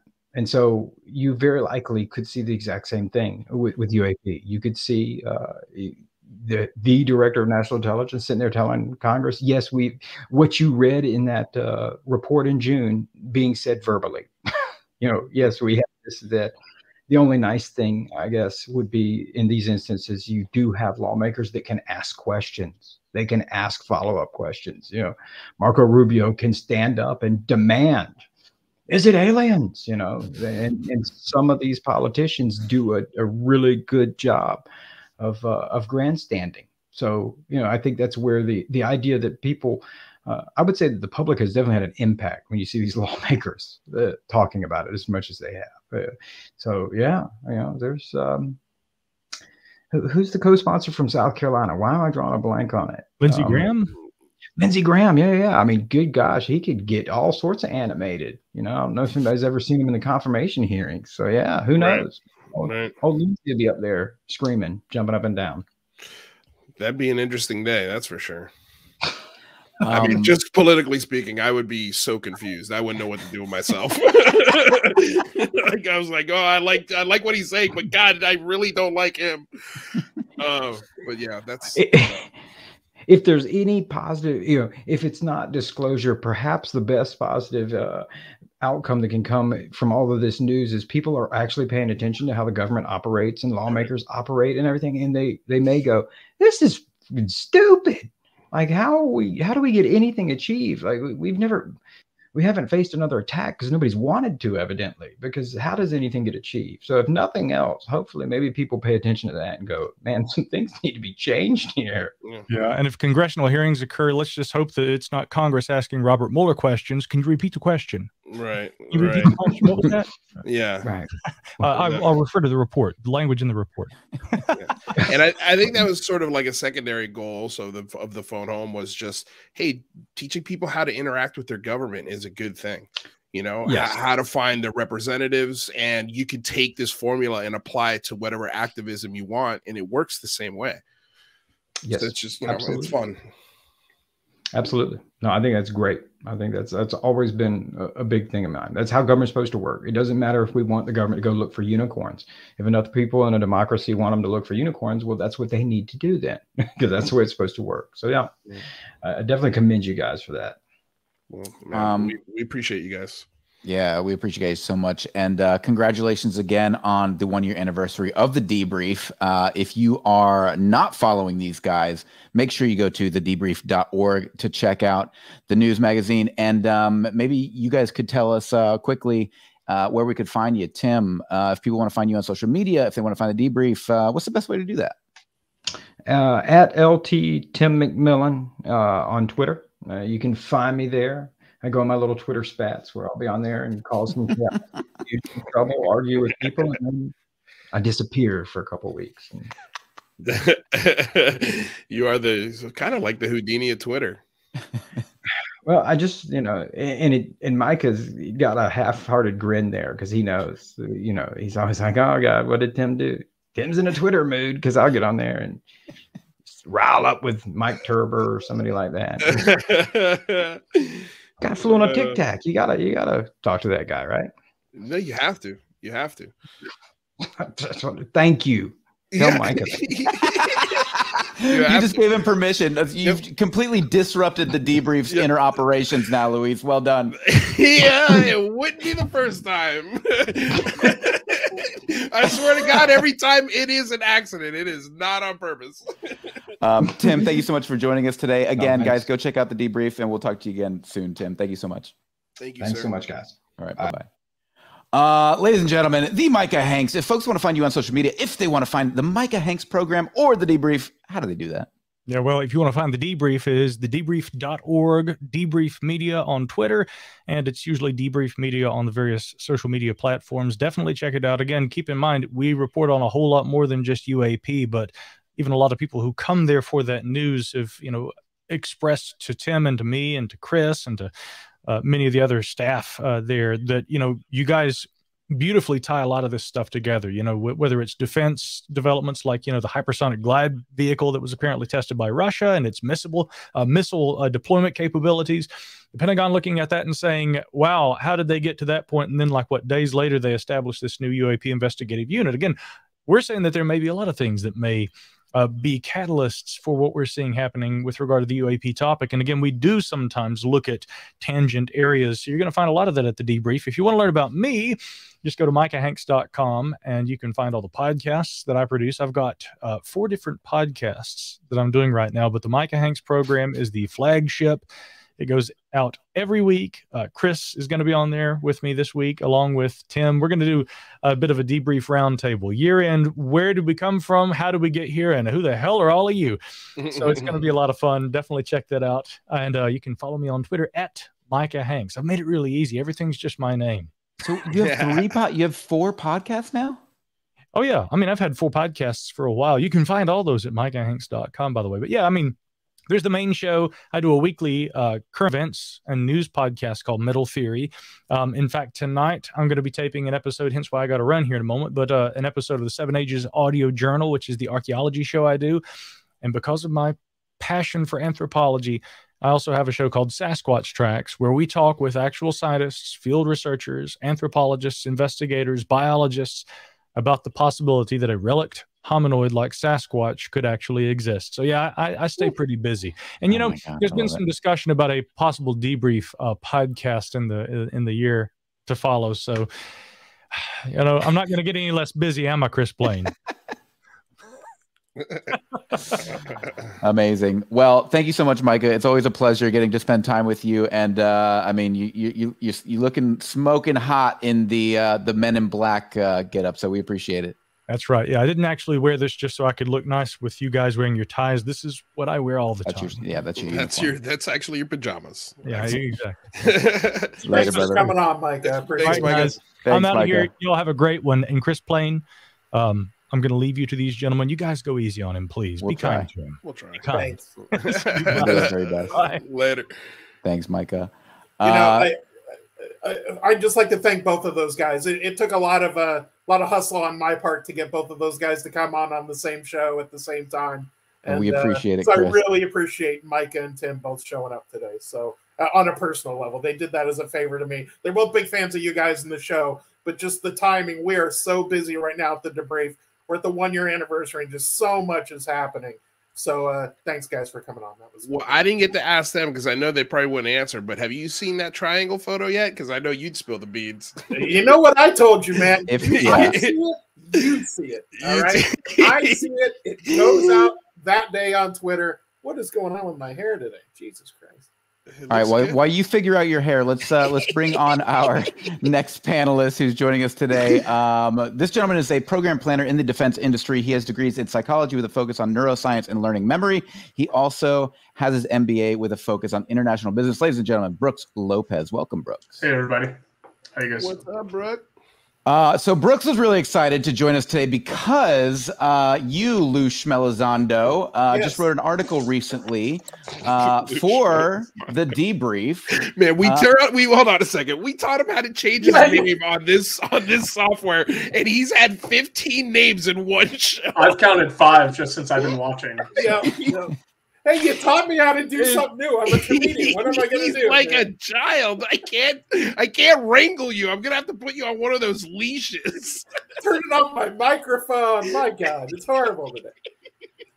Oh, What is, Sorry, Mike. Sorry, Brooks, Mike. by the way, great work as the center of the Milwaukee Bucks. What did Brooks Lopez want from me? All right, so unfortunately, I am neither as tall nor as uh, wealthy as the or as good looking as the gentleman from Milwaukee. But uh, uh, no, I, I was very That fascinated by the um, time flowing in both directions in the in the quantum realm article. I thought it was fascinating. Um, don't know how I feel about the uh, toothpaste analogy from the original authors, but that has none of your doing. So yeah, uh, it, it was a really interesting study, and basically what they were looking at was, uh, you know, is time travel possible in the quantum realm, right? Because uh, Well, we it- know it in is- the, is in the time travel macro back in world, time, the right? everyday world, it's not something we see. What? So I was just going to say because we were, we're uh, let's be specific here because there obviously time travel into the future is possible uh, if you travel at the speed of light. It is it is Right. very possible. Um, but you're talking about. Yes. right, right, right, Yeah, and what you were talking possible. about. Sorry, what? as close as, As possible close to the as speed of light, you'd still travel forward. So yeah, yeah. Chris and I Right. agreed that. Go ahead, Mike. Sorry. Right. No, no, no, no, no, no. It's totally fine. I just, I just wanted to clarify that we're talking about time travel into the past in this specific article. So I wanted to get, um, you know, your take on on the article, uh, Chris Christopher Plain.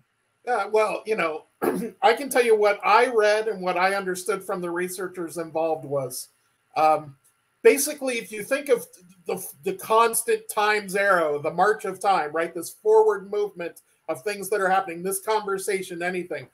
There's a basically uh, a movement, a constant movement towards entropy or disorder. Are you saying this interview is headed towards entropy, Christopher Straight to chaos. I, I think we went there about the point I cut you off the ship. I- or, or Well, before or- the show when uh, when Luis taught me how to change my name. Uh, yeah, the way, that's where it happened. Straight to hell. Um, so the idea was in looking at things in the quantum, things at that ultra tiny, ultra microscopic level, is there situation or circumstances where we, rather than moving towards entropy, that we move back towards order or essentially backwards to a previous state? And what they found was because of quantum superposition, the idea that you could physically be in two, a, a particle could physically be in two locations at the same time, the, then one of those could be moving towards the uh, normal flow of time. And given the right set of circumstances, one of those could be moving backwards in time, something they observed at that level. And essentially, if if in the the the, the collapsing of the wave, as they like to say, the collapsing of the wave function, you become a reality forward motion. There are circumstances where it seems to occasionally go towards the backwards one. So mm. occasionally it moves back to a lesser form of entropy or to its previous state, essentially moving back in time. It's so almost like that was my idea of, like, of what I read. Of what you read and wrote. Well, as I uh, tell people all the time, I'm not a PhD physicist. I report on science. They hired me as a writer and a funny guy and a guy who's just smart enough to kind of get what these scientists are talking about and translate it for everyday people. So yeah, that's that's what I'm trying to do here. Right, and it is. I don't have a master's in anything like Brooks does. Right. Well, it is, it is fascinating this idea, because, and I think we've we've heard Lou Elizondo talk about this too when he's talking about like the the cigar analogy, how like as the cigar burns like the where the cherry is that like it's that that is time and little bits will actually be ahead or behind depending on and so you can almost imagine this superposition. From what i understand of the idea of superposition is it's theoretically possible for the particle to exist in any state but we don't it's not as if it's simultaneously existing and i could be mistaken there but i do find it fascinating that they've discovered that it can be it can theoretically be moving back uh, you know a, a, small amount of time and if that's possible what else is possible? And i think well, that's and that was one of the points i made in the article mike you know the idea was if this can happen at the quantum level at the quantum realm can it have an effect on the macro world on the everyday world we we live in? Can it can it translate? Can we take advantage of that somehow and actually move back in time? And one of the examples I used in that article is uh, a few months back, I wrote about how sharks uh, navigate the Earth's magnetic field like a GPS, actually using a quantum mechanics process. Something is going on, going on inside their brains at a quantum level that they are perceiving, interacting with, and reacting to to navigate. And there's a good feeling that birds who navigate the uh, um, uh, our, our magnetic field, Earth's magnetic field, birds. maybe doing it in the same way, maybe mm. uh, tapping in at the quantum level. There's a pretty good argument that consciousness is, is occurring uh, in microtubules within the brain at a quantum level. There's some new research about that. So the idea that something happening at that level could translate, have an effect, or somehow even directly interact with the macro world already is happening. And as the scientists in that article pointed out, that research pointed it out, the whole world is occurring at the micro level. We're seeing the macro effects, but that quantum realm is all around us. So the idea that scientists have now spotted this, have said, okay, here's a place where we can actually see backwards movement in time.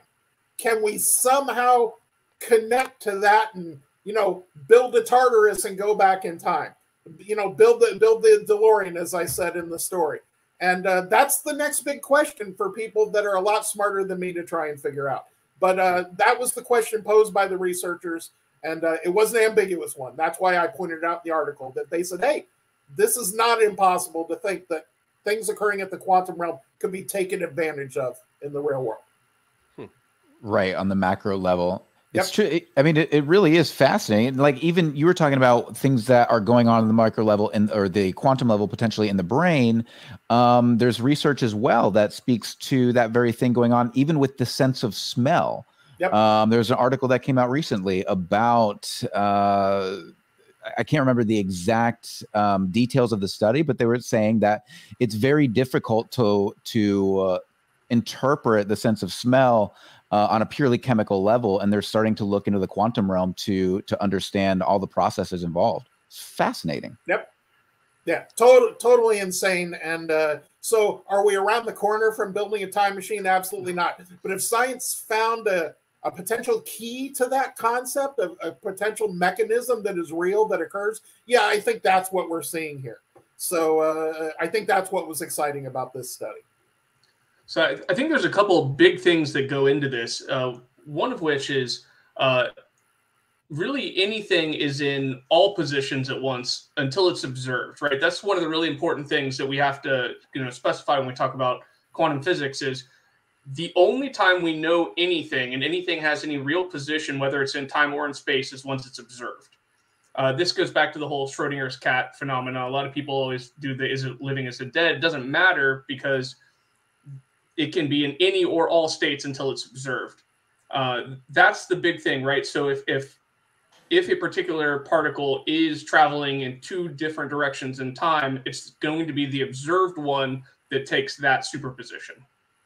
Hmm. Yeah, it's it's a lottery ticket, Brooks. Right? We buy a lottery yeah. ticket, we hold on to it until I check the numbers. I am both a winner and not a winner, right? Yeah. Like yeah, that's a great I analogy. Check, I'm walking around with this lottery ticket, thinking I could be a billionaire right now. I could have, hmm. and that's the idea in science: is that and, both situations occur until an observer. It's the old slit and uh, and uh, what am I thinking? The old uh, the quantum experiment where yeah, the Max Planck experiment with the yeah, the, Planck, yeah, slit. Yeah, exactly.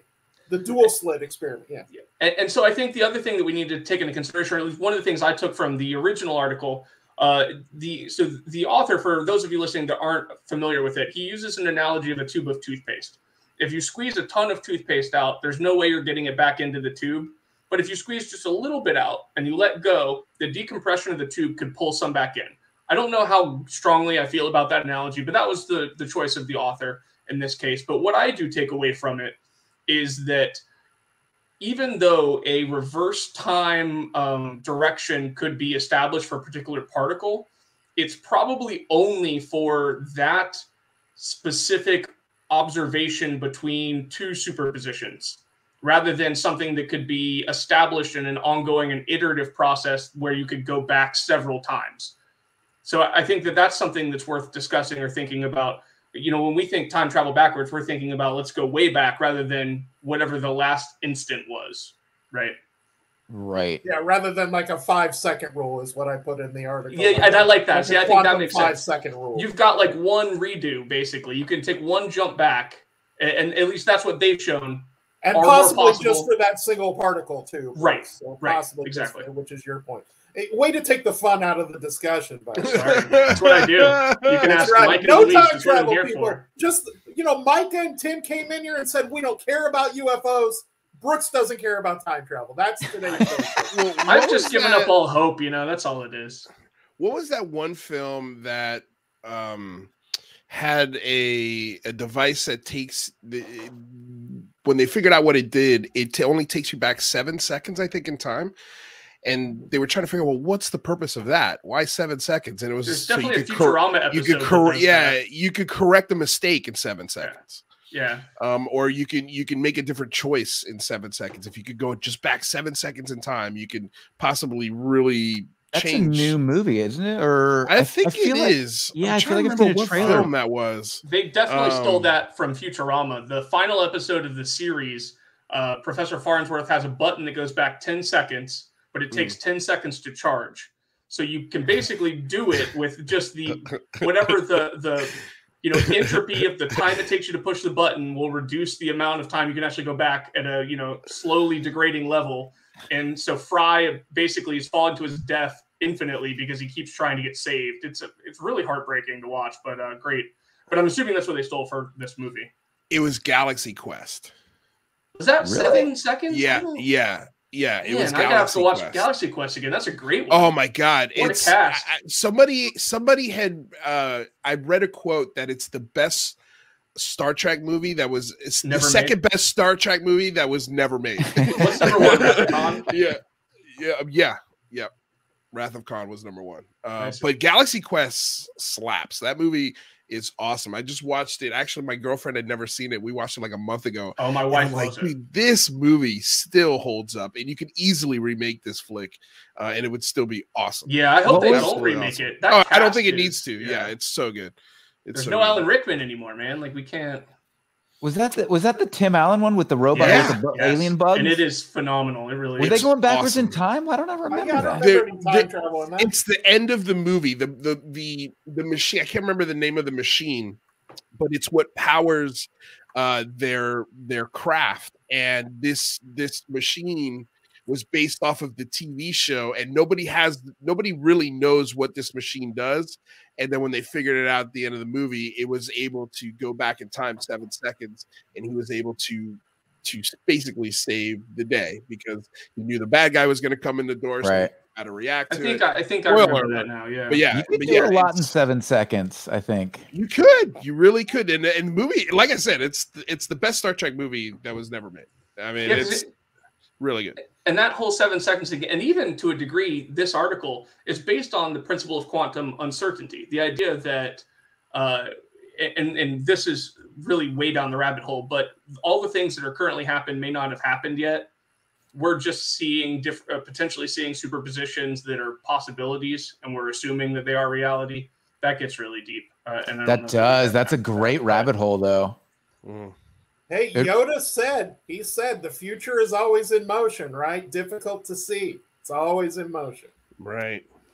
Well, yeah, and then you begin to dissect the relationship between time and space, and you start to, uh, you know, literally unravel everything you thought you knew about the universe. Because if it, if time and space are truly connected, then we're just moving through what would actually be um, space time, which is Yeah. A hundred like, percent. a Yeah. mind-boggling It's concept. the whole basis of relativity. Yes. But it seems to make sense that time and space are connected, right? Like, I mean, Yeah. it. it But you it- think we, they were we like know they are. But but our everyday reality doesn't speak to that. Our everyday reality says space is one thing, yeah. time is one thing, but in 'Cause we- reality well, they're we not. operate it. We only operate through it in a four in four dimensions. It- well, that and we only operate. I mean, we're not traveling large volumes of space frequently. Right. You know, like it, it really, and this goes back. And I actually just saw this the other day, and it was right before I talked to you, Mike, and you invited me on. Uh, it was in the 50s. These two gentlemen wanted to create a functional experiment to test general Einstein's general relativity.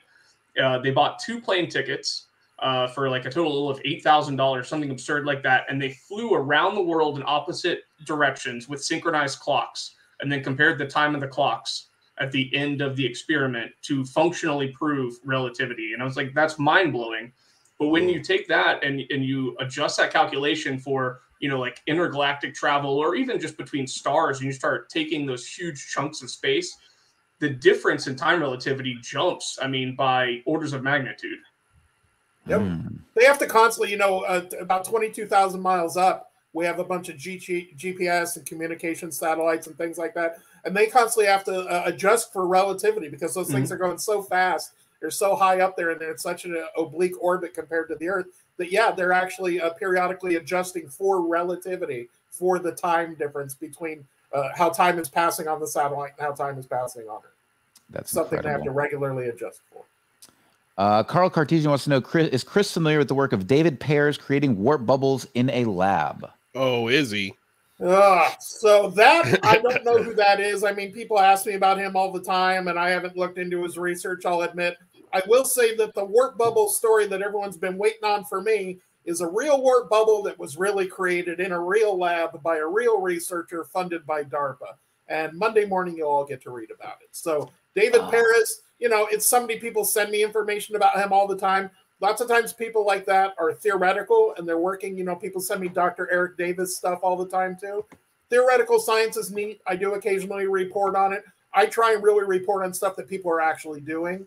So uh, this warp bubble story that everyone's been waiting on uh, from me is a real warp bubble that was really made. It's not a it's not a theoretical paper or an idea of something that could happen. So Uh, Join the technician says, but did you know you can make space time with radio waves? Uh, and for those of you who don't know, Join the Technicians is, um, gosh, I can't remember your name, brother, but you work with Mark Sokol at uh, at the lab. I can't remember oh, your name. at at the. Falcon Space. Yeah, Falcon. Yeah.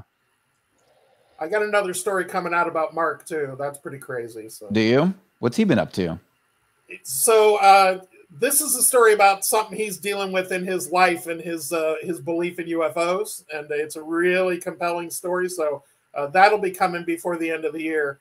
Um, but yeah, you know the the it's oh look, hey, Chrissy's here. Uh, what was that about radio waves and space? Uh, he was saying that space time through using radio waves. I'm curious what the ah, it's by- Jeremiah. from APEC, co-founder oh, okay. of APEC. Yeah. I'm just uh, curious what saying, means by create radio or create space time.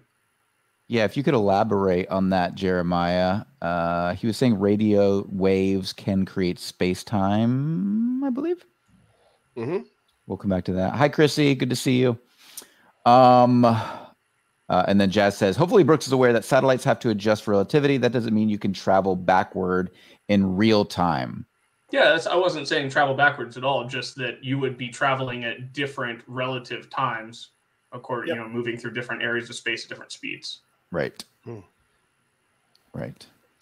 Um, all right. So I, I'm curious. Uh, I know you can't give us any specific details, Chris, about uh, the warp bubble article, but is there anything that we should be looking out for uh, for that for that Monday article? Um, so I have a lot of direct quotes from the researcher involved, as I mentioned uh, to somebody on Twitter the other day.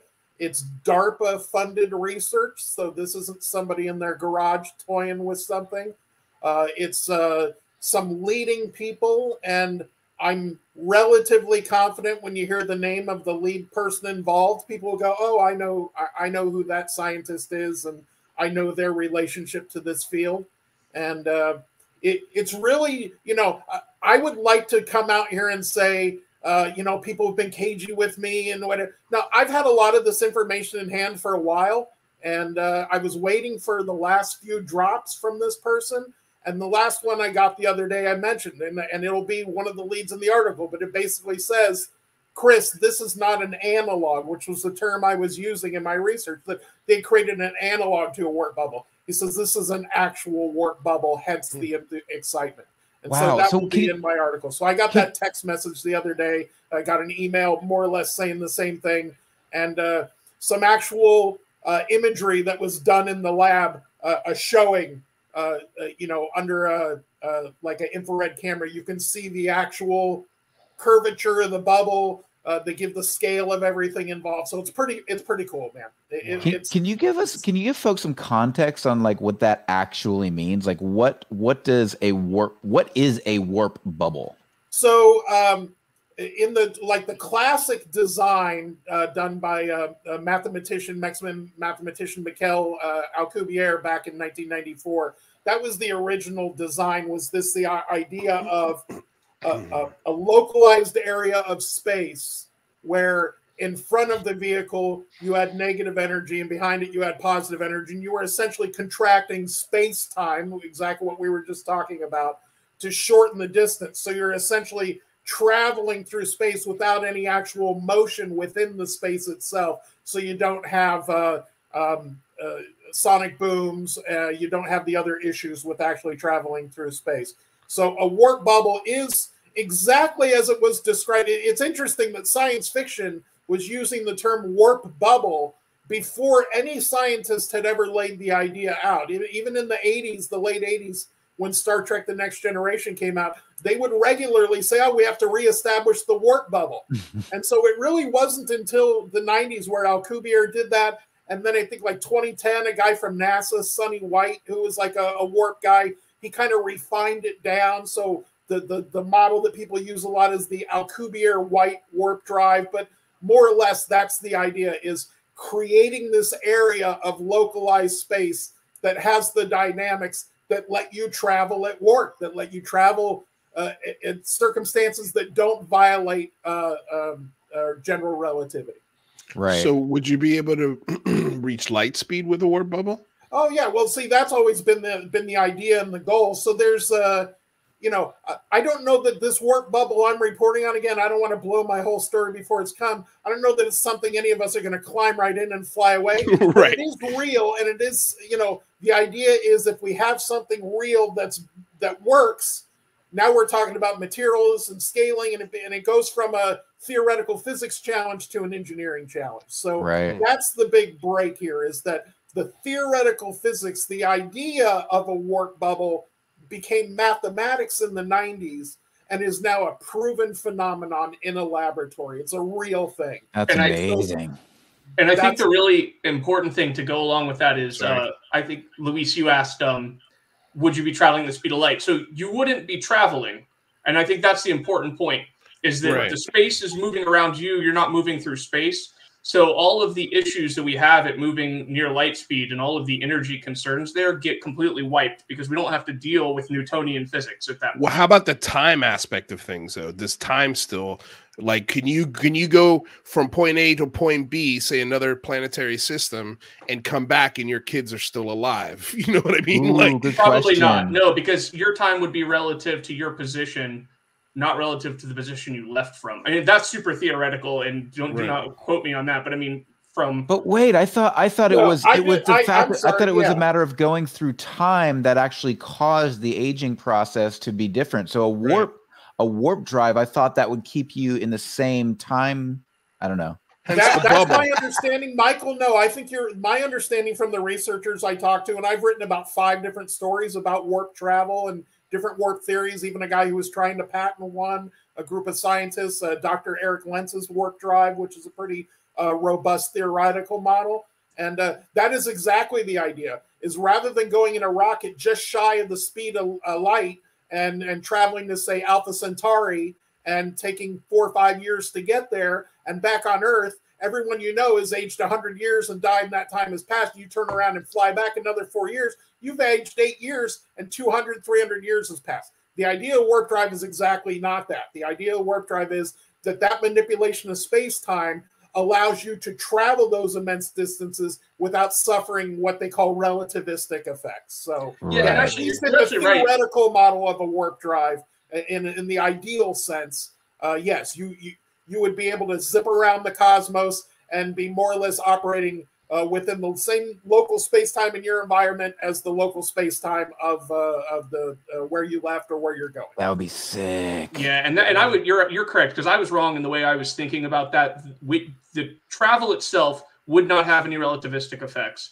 The only thing that you'd have to potentially equate for would be uh, would be if time is moving at a different relativistic speed at where you're yep. at or where your your end point is during the time right. you actually spend there. Yeah, something the head of NASA brought up uh, recently. You know, Bill Nelson brought that up recently. That this idea that in different areas of the galaxy or different areas of other galaxies of the cosmos, that because of the the, the action of the matter there, the physical matter there, that there was uh, uh places where time is passing faster and places where time is passing slower and things of that nature. So, yeah, I think that's a good point, Brooks, that uh, depending on where you go, you might go somewhere like you might go somewhere that has a massive gravitational field, right? You go right to the edge of a black hole. And because of that gravitational field, you're experiencing relative, relativistic effects, and time is just traveling different for you than it is for around. So that's when you that's sure. when you turn the warp bubble off, though.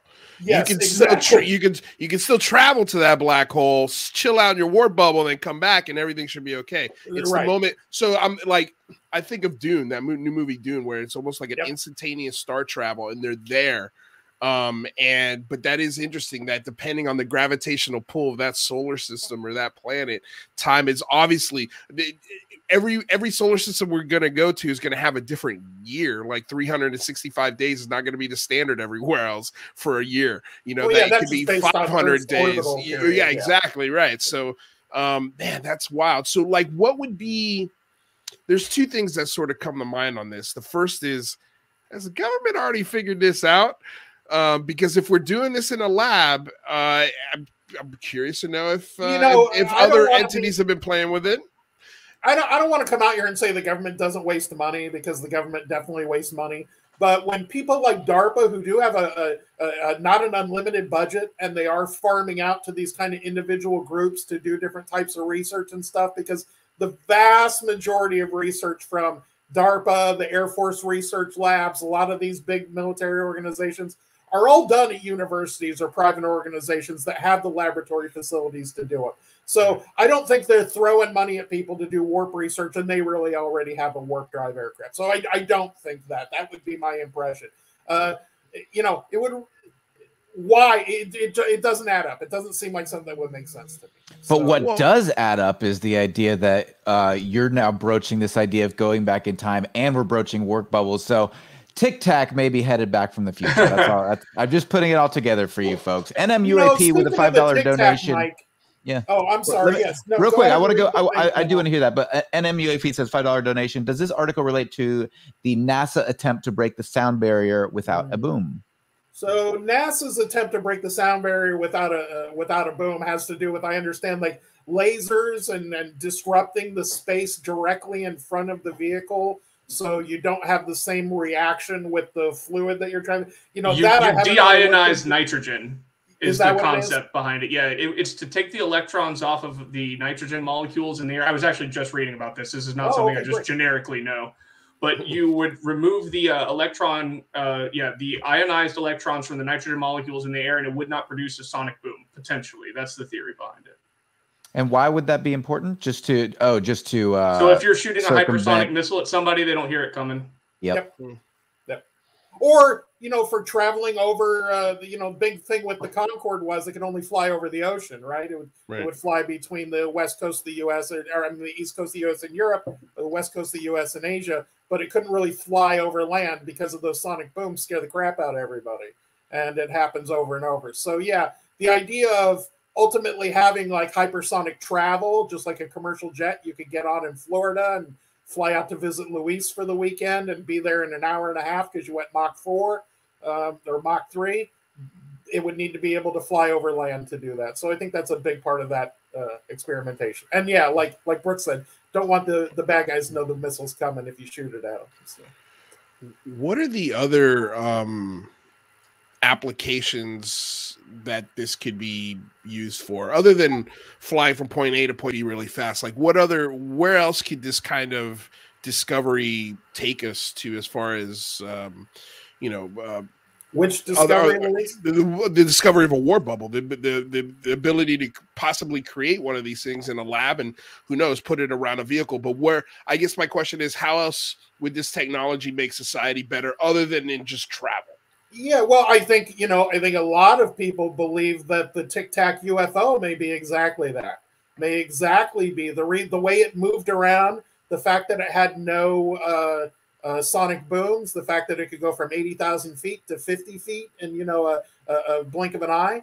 Uh, so uh, I don't think it's unrealistic that that's what we're seeing there. As far as the benefits of warp drive, I mean, on one hand, just financially, think of the money we spend supporting space programs, going to Mars, going to the moon, things like that. Think of it just from a dollar value, the change in travel. It also just opens up the cosmos. It opens up the idea of, hey, we picked up a neat radio signal from Alpha Centauri. Let's jump in the ship and go check out and see what that was and see if we can uh, uh, see what the origin of that was. Uh, I also think there's applications in non-superluminal travel. You know, I've, I've talked to researchers that are into this, and they see this as an op- option for uh, uh, for not going light speed, just going really fast. So yeah. Uh, What about if your question transport? is, what hey, about Chris, transport? You invented a rocket engine. Can we use it for something other than blasting rockets? I mean, we probably could, but yeah, I do think the main idea of a warp drive is to be a drive to travel. What, what about in infrastructure and transport of Like of- logistics. Yeah, of physical objects. Like if if we needed if there's an earthquake in Costa Rica, can we get, you know, can we get stuff there instantaneously? Or what about just moving cargo ships without having to utilize fossil fuels and Right. destroy the ocean? I mean, that's really a possibility. We're still talking about massive amounts of energy. So even if we had like a low energy warp drive or something like that, the energy investment, I hate to say it, still makes sense to pop all that, that cargo on a ship and pedal it over here from uh, Asia to the US, wherever, than uh, try Right. and use warp drives for a little. But I mean this this all comes back to this idea of the singularity, right? Like once you have fusion technology, once you have warp speed, you know, warp drives, once you have AI intelligence, once you have quantum computing, all of these things are going to interact so extraordinarily that, you know, that everything just changes and there's no way for us as shitty futurists mm-hmm. to predict what's going to happen because all of the it's uh, it's the complexity of the interactions of the technological growth that we just there's no way for us to grasp. Well, yeah, I, think most. Oh, go ahead, bro. No, please, Chris. I just think most likely, I was just going to make a bad joke and I was going to say, just most likely, what we're really doing is building a really cool spaceship design for the AI robots that take over Earth, kill us all, so they can fly around the cosmos. that's that's what we're really. The Terminators will have the coolest spaceships. The best spaceships. Uh, what I was going to say is that actually the warp bubbles may have uh, um, benefits when we start to think about quantum computing because the ability to move very small pieces of matter uh, even without relativistic requirements, becomes a huge benefit. I mean, when you start looking at electrons being moved around for computing and processing, and we can move them without things like friction and without things like you know heat from entropy or entropy Absolutely. from heat rather you start to get benefits there too not the same as moving a uh, a shuttlecraft but yeah i just wrote about a, uh, a researcher who uh, proposed an idea and they have a paper on a ship that could go up into the atmosphere, uh, uh, into a, a, low Earth orbit, and basically grab a bunch of these uh, pieces of junk, a bunch of the space debris, uh, using gravitational waves, where they would put a, a, a, pair of magnets out and it would create a wave, basically a magnetic gravitational wave around the target, and they can manipulate it like a uh, uh, like a tractor beam, like a tractor and, beam, and, and, and exactly to what Brooks was saying, that technology exists and the reason these people wrote this paper, they had developed it for eye surgeons, for eye surgeons be able to take little tiny things that they put in their eye and move it around without physically touching it, but mm. actually move it around using the electromagnetic energy to precision deliver either a surgical instrument or precision deliver drugs within eye surgery. So these guys had developed this and said, man, we can use the same mechanism to put a spaceship up that just goes around and grabs satellites and, and junk, space junk, and just deorbits it using that. So exactly That's what so uh, cool. Brooks is saying. There, there are types of technology out there specifically designed to that move stuff at a really small level without touching it. Do you remember the little the little kids game that had a dude's face that kind of looks like mine, and then you use the thing to like use oh, magnets uh, to like put hair put on hair, him and yeah. put like mustache? Wow, man, there's not one millennial or anyone past a millennial that got that toy. There's, there's no way. Was I'm a millennial, us? and I do remember that one. So. Do you remember that one? Yeah, um, that one. Well, what I was gonna say, uh, I just want to thank M. Bryant real quick for the twenty dollar oh, yeah. dono. Thank you so much. We really appreciate it. Um, Sorry, go ahead, Luis. Well, Chris, I, am when I think of power requirements, I think of the Hadron Collider, and just that massive, massive complex to smash two atoms together so we could take pictures of it. just seems like a lot of energy and resources and time and management. Is how big, I guess, of a laboratory did they have to create to produce this warp bubble? Is that asking too much detail for of this article? Like, is it? Yeah, you know, let me let me do this, Luis. I don't want to. I, I, don't want to blow the steam out of this story before I put yeah. it out on Monday. But Fair. I'll tell you, it, it's a legit lab. I mean, yeah. this is a real facility that's established, you know, in an interesting way. So right.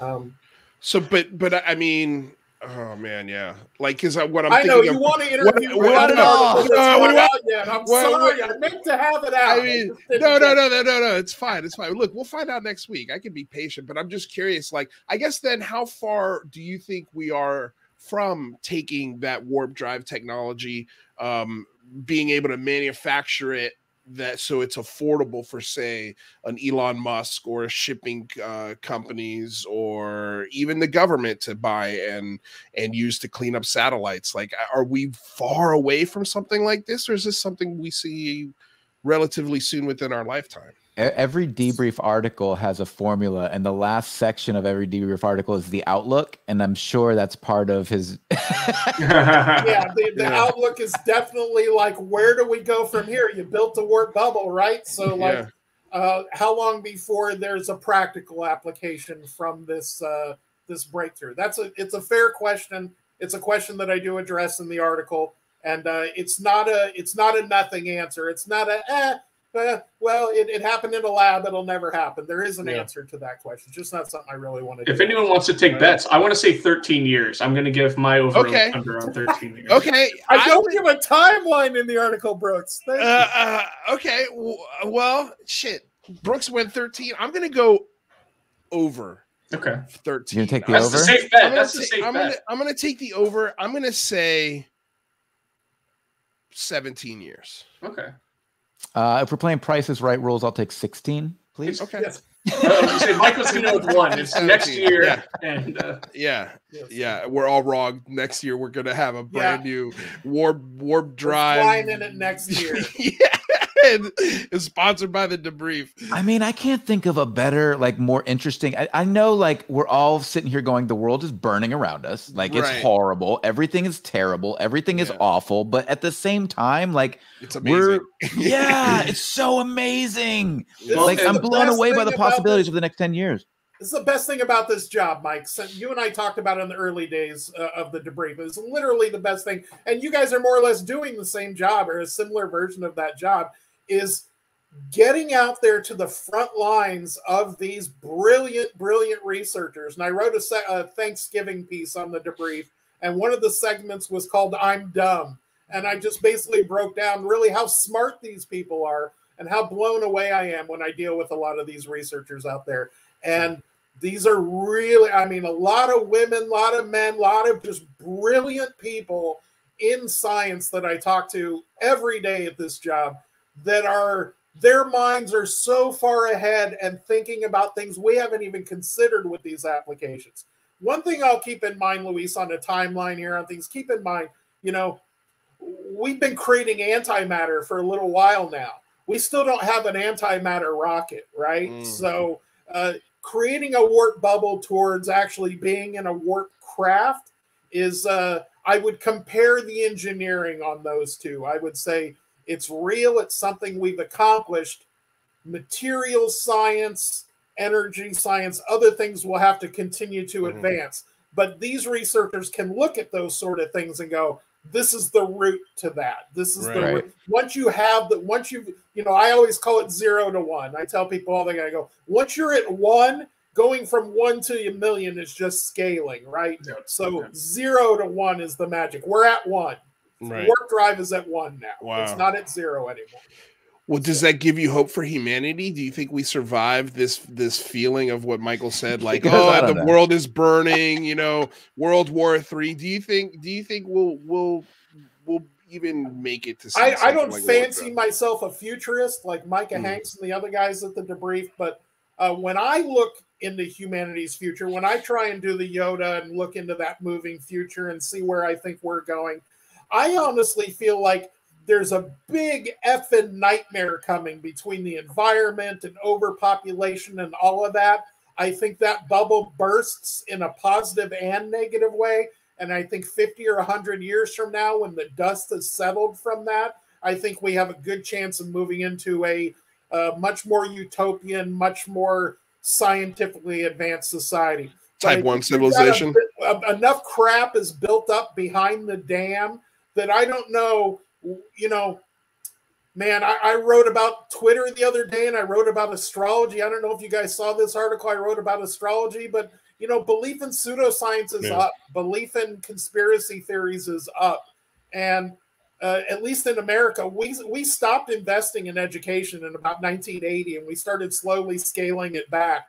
And uh, I think around the world, it's always an easy place to take away from. But because of that, we have a very superstitious believing, supernatural believing. And I'm not discounting supernatural beliefs. I'm just saying we have people that discount science, which has provable mechanisms to support it, and fully embrace pseudoscience and conspiracy that have nothing more than a feeling. Can God, that feels right to me, you know? So I'm going Right. to go with that.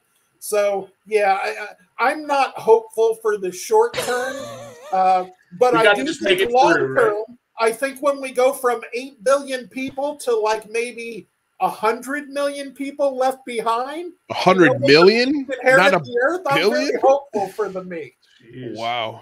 That's a that's a Bleak. huge cut. That's That's, bleak. My bleak. opinion, man. No, sure- nobody's you know, making it. It sounds, it's it sounds like it, it- it's it sounds like society's going from zero to one right now. Yeah.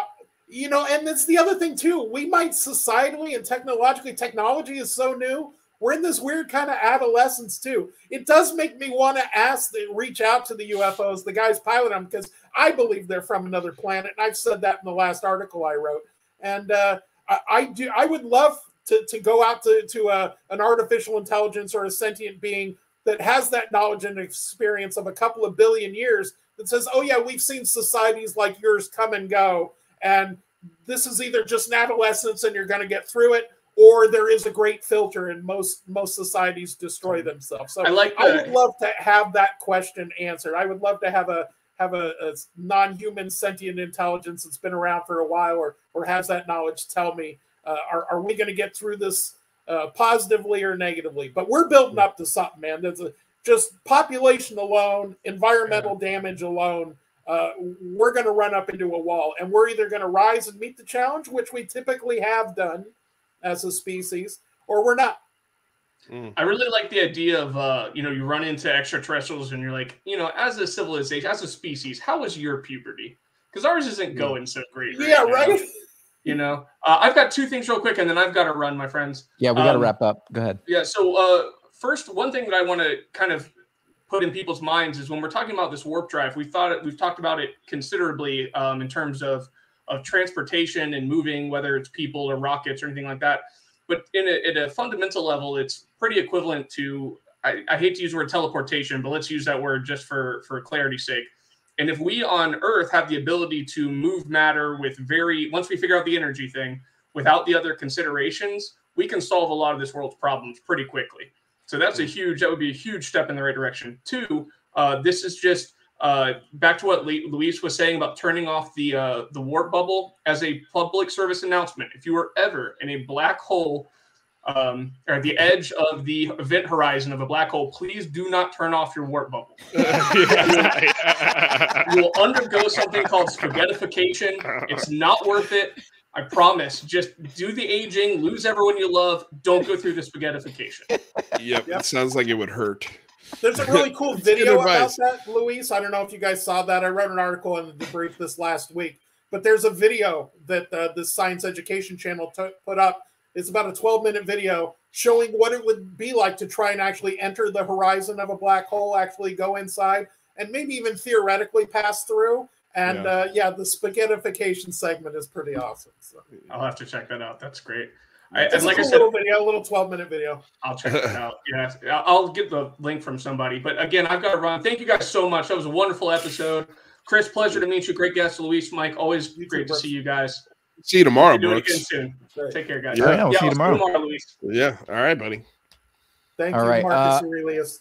Christopher Plain it's an honor as always. Um, thanks so much for putting this show together. Thank you for putting the Founder Squad together. Um, give our best to MJ. We love Christy and Christina, everyone over at the debrief. Uh, make sure you give Mar love. Any any final thoughts, or uh, just share with folks where they can find you? Uh, here's my final thought. My part, the, the guy, my boss is there. I don't know what they're smoking, but uh, I want disclosure. And here's what I want I want the pictures, and I want the video, I want all the signal intelligence. I want all that stuff to come to the top. All right. So I think the stuff that Elizondo's always talking about, the stuff that Harry Reid's talked about, these other ones. So I get that they want to temper expectation. And the last thing we want to do with the debrief is tell everyone we've got the answers coming in the next week. But I don't think we're not chasing that. We are chasing that. That is so the guys do their best to keep expectation down. I'm doing the complete opposite. the answers we're looking for. Okay, I don't think Tim McMillan's given up on trying to get that triangle photo. I don't think the guys have given up on trying to get those videos and that extra information. They do they want to temper the enthusiasm or the expectation? But yeah, and honestly, I don't think it's completely unrealistic at all to ask either this new office in the Department of Defense or the Gillibrand or any of these offices that get created to give us a best assessment at the point, mm. to give us that analysis and say, we don't think it's ours. We don't think it's uh, another human adversary. And we think it's a technological intelligence that's not those. I think we're ready to hear that assessment. So that's what I want. And that's what we're pressing for at the debrief. And I think that's what you guys need to keep pressing for is give us that information. You owe it to us. If you give us all the pictures, you give us all the photos, you give us your best assessment, and we really feel like we've seen everything from you guys, we'll back off you and we'll make our own opinions from there. But as long as you're holding the goodies and not sharing them, we're going to keep chasing those goodies. But not only that, not only that, it wins them a lot of trust yep. if they do so. Like yeah, infinite, and I, I really think trust. we're just reaching that point where it won't matter. I said this on Ryan Sprague show earlier this week. I really honestly feel like we are approaching this from so many sides. I mean, if you would ask me 10 years ago or even five years ago, how about the hot, top astronomer at Harvard doing this? I would be like, yeah. What about right. NASA doing this? I'd be like, yeah. What about a, a, a Congress putting together an office that's oversight by the people? That's the oversight of the people is Congress. Mm. What if the DoD did it? We're getting all of those. All of those things are happening right now. The yeah. UCR is calling for, and the Singularity Lab are calling for uh, disclosure. There's a hundred podcasts. There's a number of websites, and at the brief, we're doing the same thing. So, uh, my opinion is we are in a position we've never been before, and we have so many people pursuing an answer that I think it's a matter of time that the worst we get is the raw data. The worst we get is yeah. the military at some point and the government going, all right, you guys look at these pictures and videos. If you think it's aliens, you tell us. I'm happy to do that. Hand the data over. We'll we'll give you our opinion. If you don't want to give one, we'll give one. Chris is definitely not setting any sort of Woo! expectations. he just right, blew he just blew through expectations like the Griswold did on that family vacation. Otherwise, Holy what's cow, the point? Awesome. Otherwise, yeah. what are we doing here? I'm not here for the journey. I'm here for the answer. Oh, the journey. But hey, what am I doing here? What are we doing? Well, it almost goes back to that that analogy that Tim McMillan used. You know, watching the whole football game versus watching the red zone. Like everybody wants red zone. They want to just see the touchdowns. It's pure heroin to the vein. Whereas watching a whole game now is boring. So it's like for us, we're watching the whole game while society is getting kind of the red zone version where they're like, oh, a new UAP office, cool. Oh, you know, like they, they don't care about the, the minutia of the game. They just want to see the scores. Yeah. We had a 70 year soccer game and the ball just getting kicked around and nothing happened. And the yeah. last four years we've been since 2017, December, I think, right around this time, the end of the year 2017, we've been in sudden death double overtime. So something's going to happen. There's no yeah. doubt. Somebody's got to score. Somebody's got to score. Awesome, Someone's Chris. Score. Always a pleasure. Just don't let it be Jeremy Corbell. Honestly, if he comes out with the triangle photo, I'll be fine. I'll give it to the photo. Right? I don't care who it is. I don't care who it is, man. It can be anybody. Just as long as the, the, the data is verifiable and good, um, I don't care at this point. If I were in the, the, government data. And I had those photos, I would just the last point because I know we're way over time. I would link him to Mick West and say, "F you, buddy. Do something with that." Ooh. Do you think Mick West though would would release him because it would go against his whole his whole existence? That's an excellent question. we'll what leave you all watching with that. and not the hundred million humans left on Earth, as Chris yeah. Plain uh, is concerned about. Yeah, yeah, that's a much more positive uh, outlook. Yeah, much more sure. positive. Uh, Chris, where can people find you? At Plain underscore Fiction is my Twitter. I don't really use any of my other social media, even though they're there somewhere. And the debrief.org I write oh. the I'm I'm running the news desk now, so I do three stories a day at the debrief. Jeez. Wow. Wow. Yeah. Jesus. Chris, what a what a pleasure. Make sure you guys check out uh, Chris underscore Plain over on Twitter. Uh, make sure you Plain go to underscore fiction. Did I say Chris underscore Plain? I no, you probably said it right. I'm certain I said it wrong. Yeah. Uh, plain underscore fiction. Is that was that correct? Plain underscore fiction. Uh, and also check out the debrief.org. Uh, lead science writer at the debrief, Christopher Plain, uh, posing as Christina Gomez. What happened to you? I was this close to putting Kristin Mataluni under there since she blew me off this week. blew me off this week. Chris I'll let her know. Oh. Love you, buddy. Talk to you soon. Later, Love you guys. Thanks, man. Ciao. All right. Bye. what a great group of people. Christopher Plain, man, he just he's so funny, and then like you know, he just keeps me on my toes, man. Oh, well, uh, I mean, join the technicians. Having... Jeremiah wants me to give Christopher Plain his email. I will do that. Um, Chris Plain, make sure you remind me. I'll send you Jeremiah's email. Um, what else you got, buddy? Um, What's tomorrow? Well, tomorrow, What's tomorrow on the unidentified celebrity? Tomorrow review? on the unidentified celebrity review, we've got former CIA agent John Ramirez. Alleged? Is, that an alleged? Okay, well, uh, I I think we're going to confirm 100% tomorrow that he was definitely a CIA agent. Really? Uh, yes, because there was a question that Rather had for him. Uh, that he sort of had a little bit of a Twitter spat with John Ramirez, and I so I forwarded the message to John Ramirez, and John Ramirez says, "Yep, I can provide exactly what he's asking for." So um, I think we'll that be able be to confirm, put put the final nail on the coffin on John Ramirez's career, and then we can get to the really good stuff that he's that he's talking about. Because man, he goes from zero to a hundred real quick, and there's a lot that I want to, you know, try and dissect in between, and that's why we've got Brooks coming on. You'll be there, Rather will be there. I think it's going to be an awesome, awesome conversation with John Ramirez. So don't miss it because it's going to be a lot, a lot of fun. That I'm looking forward to it. Yeah. Um, also, make sure you check us out on Spotify, on Apple Podcasts, the Unidentified Review, uh, Unidentified Celebrity Review. You can also find the Singularity Lab on Spotify and on Apple. Um, All of the links are down below right? Everybody's oh, yeah. links who was on the shows down below. So check out the links if you if you enjoy Christopher Plain, if you enjoy Micah Hanks, uh, Tim McMillan, Michael, myself, all of our all of our links are there, so you can find everybody there.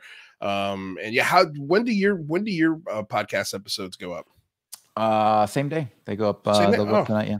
Because I know somebody edits them for you, right? Yes. Yes. Man, he's I pretty be, fast. Yeah, he's he's great. He's actually in awesome. in Japan. His name is Rich. Uh, oh. if you need a guy, I know a guy. Yeah. Yeah. Yeah. like, share, subscribe. Do it. Do it. All right. See you guys uh, tomorrow on the Unidentified Celebrity Review. Peace, y'all. You got the outro? Or should I? I got it.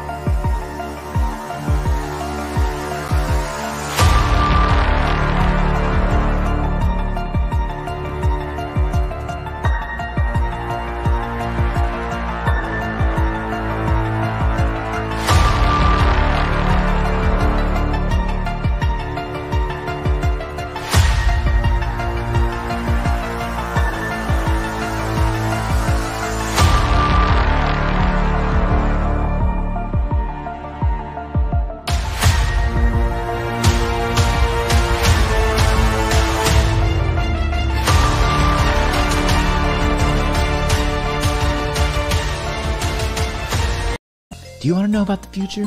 I do, and I know you do too. That's why we do what we do, right here at the Singularity Lab, just for you. Do you want to know about stories about breaking technology? Science? Look right here, I'm looking at my sheet. Marty did it. Why can't you? Remember, this is a public access channel. We rely on your donations, so just hit the Patreon. So we can continue to bring you updated science and technology breaking news every single day.